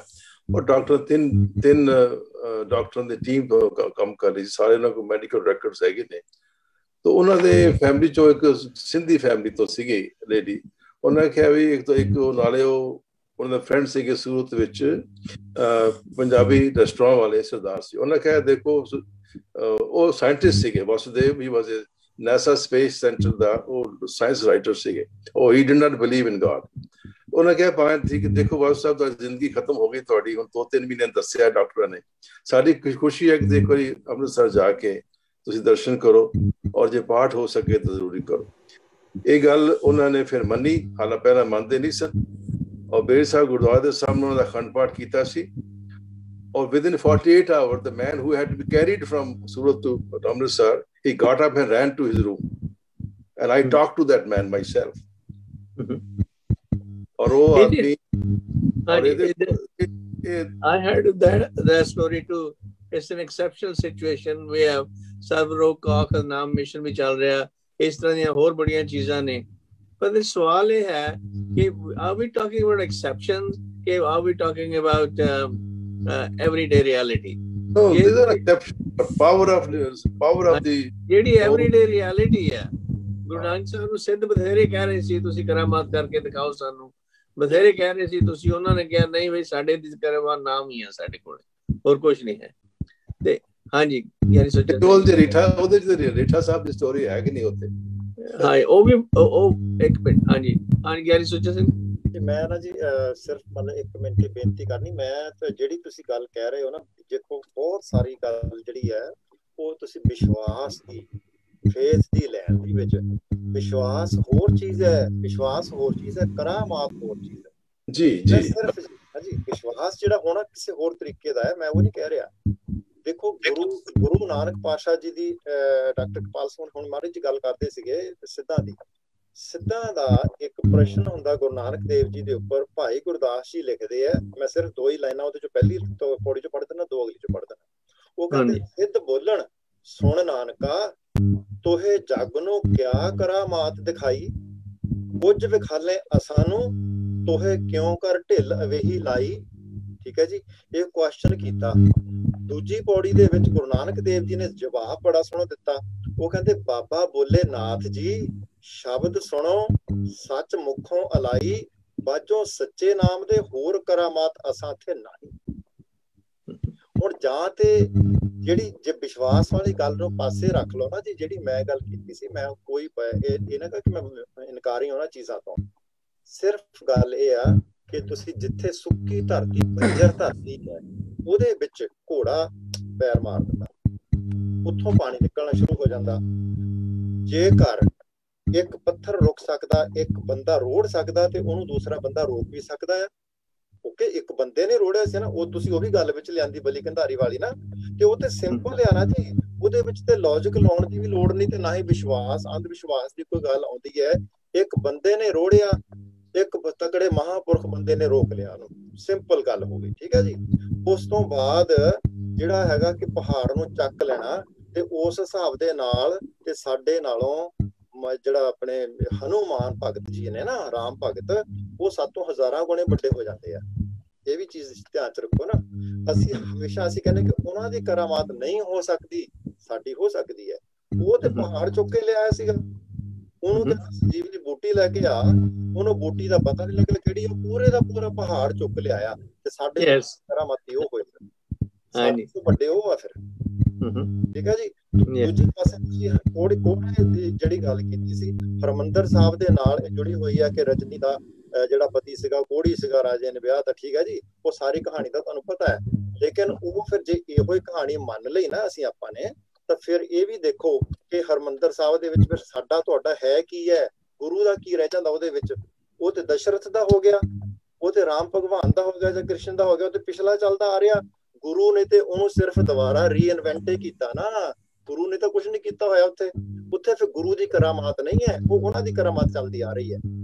ਕੀਪ ਇਨ ਮਾਈਂਡ ਕਿ ਉਹ ਜੇਕਰ ਉਦੋਂ ਉਦੋਂ ਉਹ ਰਾਜੀ ਹੋ ਗਿਆ ਸੀ ਕੋੜਾ ਉੱਥੇ ਤੇ ਹੁਣ ਜੇ ਹੋ ਰਹੇ ਆ ਤੇ ਉੱਥੇ ਗੁਰੂ ਦੀ ਕਰਾਮਾਤ ਨਹੀਂ ਫਿਰ ਉਹ ਪਹਿਲੀ ਕਰਾਮਾਤ ਕੰਮ ਕਰ ਰਹੀ ਹੈ। ਹਾਂਜੀ that's all I want to say it's interesting logic ਇੱਕ ਪੁਆਇੰਟ ਮੈਂ ਐਡ ਕਰਨਾ ਚਾਹਾਂਗਾ ਕਿ ਇੱਕ ਹੁੰਦਾ ਸੁਣਨਾ। ਜਿਹੜੀ ਸੁਣਨ ਦੀ ਅਵਸਥਾ ਤੋਂ ਬਾਅਦ ਆਉਂਦੀ ਮੰਨਣਾ। ਸੁਣਿਆ ਸਤ ਸੰਤੋਖ, ਤੇ ਮੰਨੇ ਕੀ ਗੱਦ ਕਹੀ ਨਾ ਜਾਏ। ਜਦੋਂ ਬੰਦਾ ਮੰਨਣ ਦੇ ਖੇਤਰ ਚ ਆਉਂਦਾ ਉਦੋਂ ਧਾਰਮਿਕ ਸ਼ਰਧਾ ਜਿਹੜੀ ਹੈ, ਉਹ ਨਾਲ ਰਲਦੀ ਹੈ, ਤਾਂ ਬੰਦਾ ਮੰਨਦਾ ਹੈ। ਇਸ ਕਰਕੇ ਮੈਂ ਸਮਝਣਾ ਕਿ ਸਾਨੂੰ ਸੁਣਨ ਤੱਕ ਹੀ ਨਹੀਂ ਰਹਿਣਾ ਚਾਹੀਦਾ, ਬਲਕਿ ਮੰਨੇ ਕਦ ਕਹੀ ਨਾ ਜਾਏ, ਜੇ ਕੋ ਕਹਿ ਪਿਛੇ ਪੁੱਛਦਾ ਹੈ। ਤਾਂ ਮੰਨਣ ਤੋਂ ਬਾਅਦ ਪੰਚ ਬਣਨਾ ਗੁਰਮੁਖ ਦੀ ਅਵਸਥਾ ਪੈਦਾ ਹੋਣੀ ਹੈ, ਜਿਹੜੀ ਅਭੇਤਾ ਦੀ ਅਵਸਥਾ ਹੈ। ਸੋ ਇਹ ਜਿਹੜੀਆਂ ਸਾਖੀਆਂ ਨੇ, ਮੈਂ ਫੇਰ ਕਹਿਣਾ ਚਾਹਾਂਗਾ, ਇਸ ਗੱਲ ਤੇ ਧਿਆਨ ਰੱਖੋ ਕਿ ਜਿਨ੍ਹਾਂ ਸਮਿਆਂ ਦੀ ਅਸੀਂ ਗੱਲ ਕਰ ਰਹੇ ਹਾਂ, ਜਦੋਂ ਕਰਾਮਾਤਾਂ ਕਈਆਂ ਗਈਆਂ ਜਾਂ ਜੋ ਗਈਆਂ ਸਮੇਂ ਦੇ ਮਨੁੱਖ ਦੇ ਸੁਭਾਅ ਵਿੱਚ ਇਹ ਹੈਗਾ ਕਿ ਗੁਰੂ ਮਹਾਨ ਉਹੀ ਹੈ ਜਿਹੜਾ ਕਰਾਮਾਤਾਂ ਵਿਸ਼ਵਾਸ, ਕਰਾਮਾਤ ਵਿਖਾ ਸਕੇ। ਇਸ ਕਰਕੇ ਇਹ ਜਿੰਨੀਆਂ ਕਰਾਮਾਤਾਂ ਨੇ, ਇਹ ਉਸ ਸਮੇਂ ਦੇ ਮਨੁੱਖ ਦੇ ਸੁਭਾਅ ਤੱਕ ਜੁੜੀਆਂ ਗਈਆਂ। ਹੁਣ ਮਹਾਤਮਾ ਬੁੱਧ ਜਿਹੜਾ ਉਹ ਆਪਣੇ ਪਾਂਦੇ ਨੂੰ, ਆਪਣੇ ਗੁਰੂ ਨੂੰ ਪੜਾਉਂਦਾ ਮਹਾਤਮਾ ਬੁੱਧ ਦੀ ਸਟੋਰੀਆਂ ਪੜੋ ਉਹ ਆਪਣੇ ਪਾਂਦੇ ਨੂੰ ਪੜਾਉਂਦਾ ਤੇ ਗੁਰੂ ਨਾਨਕ ਵੀ ਆਪਣੇ ਪਾਂਦੇ ਨੂੰ ਪੜਾਉਂਦਾ ਇਹ ਸਾਰੀਆਂ ਸਟੋਰੀਜ਼ ਮਿਲਦੀਆਂ ਜੁਲਦੀਆਂ ਨੇ। ਇਸ ਕਰਕੇ ਸਾਨੂੰ ਚਾਹੀਦਾ ਕਿ ਸੁਣਨ ਤੋਂ ਬਾਅਦ ਜਿਹੜੀ ਮੰਨਣ ਦੀ ਸ਼ਰਧਾ ਦੀ ਅਵਸਥਾ ਹੈ ਜਦੋਂ ਮਨੁੱਖ ਨੇ ਚੇਂਜ ਹੋਣਾ ਹੈ ਮਨੁੱਖ ਨੇ ਜਦੋਂ ਤਬਦੀਲ ਹੋਣਾ ਹੈ ਮੰਨਣ ਨਾਲ ਹੋਣਾ ਹੈ ਸ਼ਰਧਾ ਨਾਲ ਹੋਣਾ ਤੇ ਸ਼ਰਧਾ ਨਾਲ ਨਾਲ ਸਾਨੂੰ ਰੱਖਣੀ ਚਾਹੀਦੀ ਹੈ। ਤੇ ਜਿਹੜੀਆਂ ਕਰਾਮਾਤਾਂ ਨੇ ਉਹਦਾ ਇੱਕੋ ਗੱਲ ਹੈ ਕਿ ਉਹ ਉਸ ਵੇਲੇ ਦਾ ਮਨੁੱਖ ਜਿਹੜਾ ਜਿਹੜਾ ਸਾਡਾ ਪੂਰਵਜ ਸੀ ਤੁਸੀਂ ਕਹੋ ਅਸੀਂ ਹੀ ਸਾਂ ਸਾਡੇ ਹੀ ਬਜ਼ੁਰਗ ਉਹਨਾਂ ਨੂੰ ਗੁਰੂਆਂ ਨੂੰ ਮਹਾਨ ਮੰਨ ਸਕਦੇ ਸਨ ਜਿੱਥੇ ਕਰਾਮਾਤਾਂ ਹੋਣ। ਪਰ ਅੱਜ ਉਹਨਾਂ ਨੂੰ ਅਸੀਂ ਮਹਾਨ ਬਣਦੇ ਆ ਮੰਨਦੇ ਆ ਉਹਨਾਂ ਦੀ ਵਿਚਾਰਾਂ ਦੀ ਸ਼ਕਤੀ ਕਰਕੇ ਉਹਨਾਂ ਦੇ ਫਲਸਫੇ ਦੀ ਵਿਚਾਰਧਾਰਾ। That's a good good resolution. ਹਾਂਜੀ। So, in other words, what happens is ਕਿ ਵੀ ਸਮੇਂ ਸਮੇਂ ਅਨੁਸਾਰ ਜਿਹੜੀਆਂ ਚੀਜ਼ਾਂ ਨੇ it's a matter of new adaptation and plus age ਤੇ ਵੀ ਡਿਪੈਂਡ ਕਰਦਾ। ਜਿਹੜੀ ਬੱਚੇ ਨੂੰ ਤੁਸੀਂ ਗੱਲ ਦੱਸਣੀ ਆ, ਉਹ ਹੋਰ ਲੈਵਲ ਦੀ ਆ। ਐਡਲਟ ਨੂੰ ਹੋਰ ਲੈਵਲ ਦੀ ਹੈ ਮੋਰ ਮੈਚੁਰ ਬੰਦਾ ਜਿਹੜਾ ਹੋਰ ਲੈਵਲ ਦੀ ਹੈ but it's not the same thing, although the idea is the same ਕਿ ਉਹਨਾਂ ਦਾ ਵਿਸ਼ਵਾਸ ਕਿਵੇਂ ਵਧਾਇਆ ਜਾਵੇ। ਜਿਵੇਂ ਸ਼ੱਕਰ ਰੱਖ ਦਿੰਦੀ ਸੀ ਅੰਗਰੇਜ਼ੀ ਦੀ ਮਦਰ ਉਹਦੇ ਮੇਰੇ ਬੱਚੇ ਦਾ ਵਿਸ਼ਵਾਸ ਵਧੇ and later on he discovered ਬਈ ਉਹ ਕਿੰਨੀ ਮੇਰੀ ਮਾਂ ਦੀ ਜਿਹੜੀ ਸੀਗੀ ਆ, ਸੋਚ ਕਿੰਨੀ ਨਰਾਲੀ ਸੀਗੀ। ਸੋ ਇਸ ਤਰ੍ਹਾਂ ਮਤਲਬ ਇਹ ਚੀਜ਼ਾਂ ਜਿਹੜੀਆਂ ਨੇ ਹੋ ਗਈਆਂ ਨੇ ਰਲ ਮਿਲ ਕੇ ਇਕੱਠੀਆਂ ਹੋਈਆਂ ਹੋਈਆਂ ਨੇ। ਪਰ ਅਖੀਰ ਤੇ ਸਾਡੀ ਜਿਹੜੀ ਕਸਮਟੀ ਹੈ ਉਹ ਤਾਂ ਸਾਡੀ ਗੁਰਬਾਣੀ ਹੋਈ ਹੈ। ਜਿਹੜੀ ਚੀਜ਼ ਗੁਰਬਾਣੀ ਦੇ ਅਨਸਾਰ ਠੀਕ ਹੋਵੇ ਉਹਨੂੰ ਅਸੀਂ ਐਕਸੈਪਟ ਕਰੀਏ ਜਿਹੜੀ ਨਹੀਂ ਉਹਨੂੰ ਅਸੀਂ ਰਿਜੈਕਟ ਵੀ ਕਰ ਸਕਦੇ ਹਾਂ। ਪਰ ਜੇ for some reason you want to accept that's your choice too ਪਰ ਟਕਸਾਲ ਜਿਹੜੀ ਹੈ ਸਾਡੀ ਇਹਨਾਂ ਚੀਜ਼ਾਂ ਨੂੰ ਦੱਸਣ ਲਈ ਉਹ ਸਿਰਫ ਗੁਰਬਾਣੀ ਦੇ ਆਧਾਰ ਤੇ ਹੋ ਸਕਦੀ ਹੈ। ਇਤਿਹਾਸ ਜਿਹੜਾ ਹਾਂਜੀ? ਗੁਰੂ ਨਾਨਕ ਸਾਹਿਬ ਜਿਹੜੀ ਇਹ ਲਾਈਨ ਹੈ ਜਿਨ ਮਾਨਸ ਤੇ ਦੇਵਤੇ ਕੀਏ ਕਰਤ ਨਾ ਲਾਗੀ ਵਾ। ਮਨੁੱਖ ਤੋਂ ਦੇਵਤਾ ਬਣਾਉਣਾ ਮਨੁੱਖ ਤੋਂ ਡਿਵਾਈਨ ਬਣਾਉਣਾ ਇਹ ਵੀ ਗੁਰਬਾਣੀ ਆਖਦੀ ਹੈ ਤੇ ਗੁਰਬਾਣੀ ਦੀ ਕਰਾਮਾਤ ਜਿਹੜੀ ਹੈ ਉਹ ਅੰਦਰਲੀ ਜਿਹੜੀ ਵਿਚਾਰਾਂ ਦੀ ਕਰਾਮਾਤ ਹੈ ਵਿਚਾਰ ਬਦਲਦੇ ਨੇ ਬੰਦਾ ਬਦਲਦਾ ਹੈ। ਮਨੁੱਖ ਜਿਹੜਾ ਬਣਦਾ ਹੈ ਮਨੁੱਖ ਦੇ ਅੰਦਰ ਜੋ ਐਨੀਮਲ ਹੈ ਜੋ ਮਨੁੱਖ ਦੇ ਅੰਦਰ ਪਾਸ਼ਵ ਪ੍ਰਵਿਰਤੀਆਂ ਨੇ ਜੋ ਕਿ ਡਿਵਾਈਨ ਹੁੰਦੀਆਂ ਨੇ ਗੁਰਬਾਣੀ ਦੀ ਕਰਾਮਾਤ ਮਨੁੱਖ ਦੀ ਡਿਵਾਈਨ ਪ੍ਰਕਿਰਤੀ ਹੈ। ਯੈਸ ਸੋ ਕਹਾਣੀਆਂ ਜ਼ਰੂਰ ਹਾਂਜੀ। ਦੇਖੋ ਜੋ ਵਿਚਾਰ ਜੋ ਡਾਕਟਰ ਸਾਹਿਬ ਕਿਹਾ ਹੈ ਸਭ ਦਾ ਮੈਂ ਸਤਿਕਾਰ ਕਰਦਾ। ਇੱਕ ਕੁਐਸਚਨ ਇਹ ਹੈ ਕਿ they are debating from the main point Sucha Singh ji ਨੇ ਪੀਪੀ ਜੀ ਨੇ ਕਹੀ ਹੈ he says he is questioning the authenticity of these ਕਰਾਮਾਤ।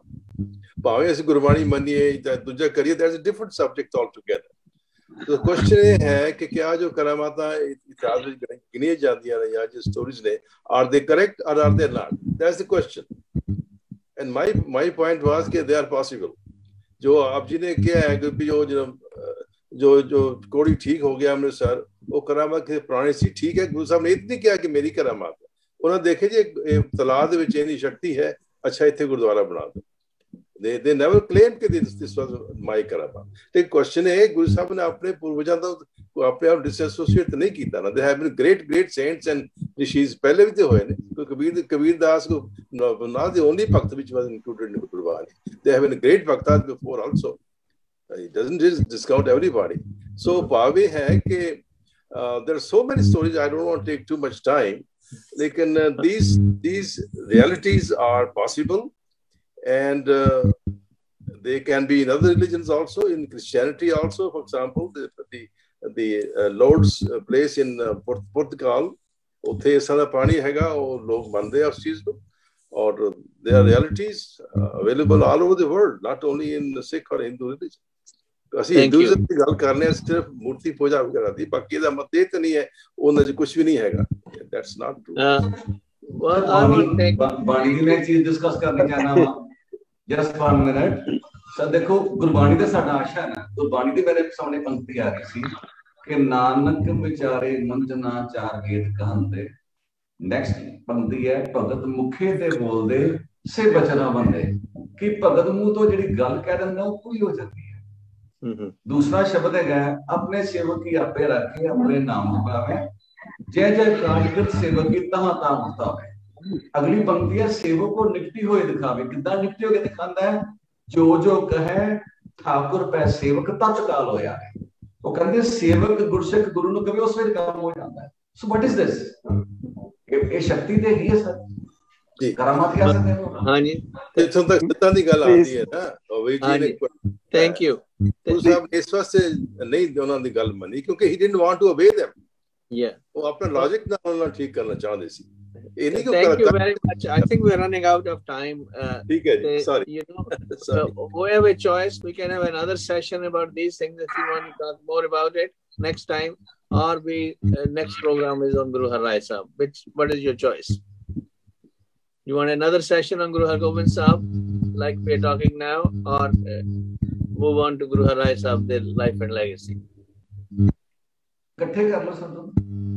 ਇਕੱਠੇ ਕਰ ਲਓ ਸਭ ਚਲੋ ਫਿਰ ਆਪਾਂ we will doctor Sarna you come again next time Guru Har Rai Sahib ਤੇ ਸਾਨੂੰ ਆਪਣਾ ਦੱਸਿਓ ਕਸ਼ਮੀਰ ਯਾਤਰਾ ਉਹਨਾਂ ਦੀ ਕਿਸ ਤਰ੍ਹਾਂ and we will have a program life and legacy of guru har rai sahib ਹਾਂਜੀ thank you for everyone's participation and uh, especially for your presentation we are a group of people different kind of background so we question these things doesn't mean we mean to insult or uh, you know discredit or anything this all helps us to grow no, no, you know, just a mutual friendly discussion that's interaction and uh, and we are all subject to transformation ਕਿਉਂਕਿ ਹੌਲੀ ਹੌਲੀ ਇਹੀ ਹੈ ਜਿਵੇਂ ਗੁਰੂ ਨਾਨਕ ਸਾਹਿਬ ਫਰਮਾਉਂਦੇ ਆ ਧਰਮਖੰਡ ਗਿਆਨਖੰਡ ਸਰਵਖੰਡ ਕਰਮਖੰਡ ਸੱਚਖੰਡ ਇਸੇ process ਕੋ ਕਿਵੇਂ ਕੋ ਕਿਵੇਂ ਕੋ ਕਿਵੇਂ but the whole idea is to grow ਚੰਗਾ ਜੀ ਬਹੁਤ ਬਹੁਤ ਸ਼ੁਕਰੀਆ for all the participants and for the audience and ਇਨ ਕਹਿੰਦੇ ਹੋਏ end this program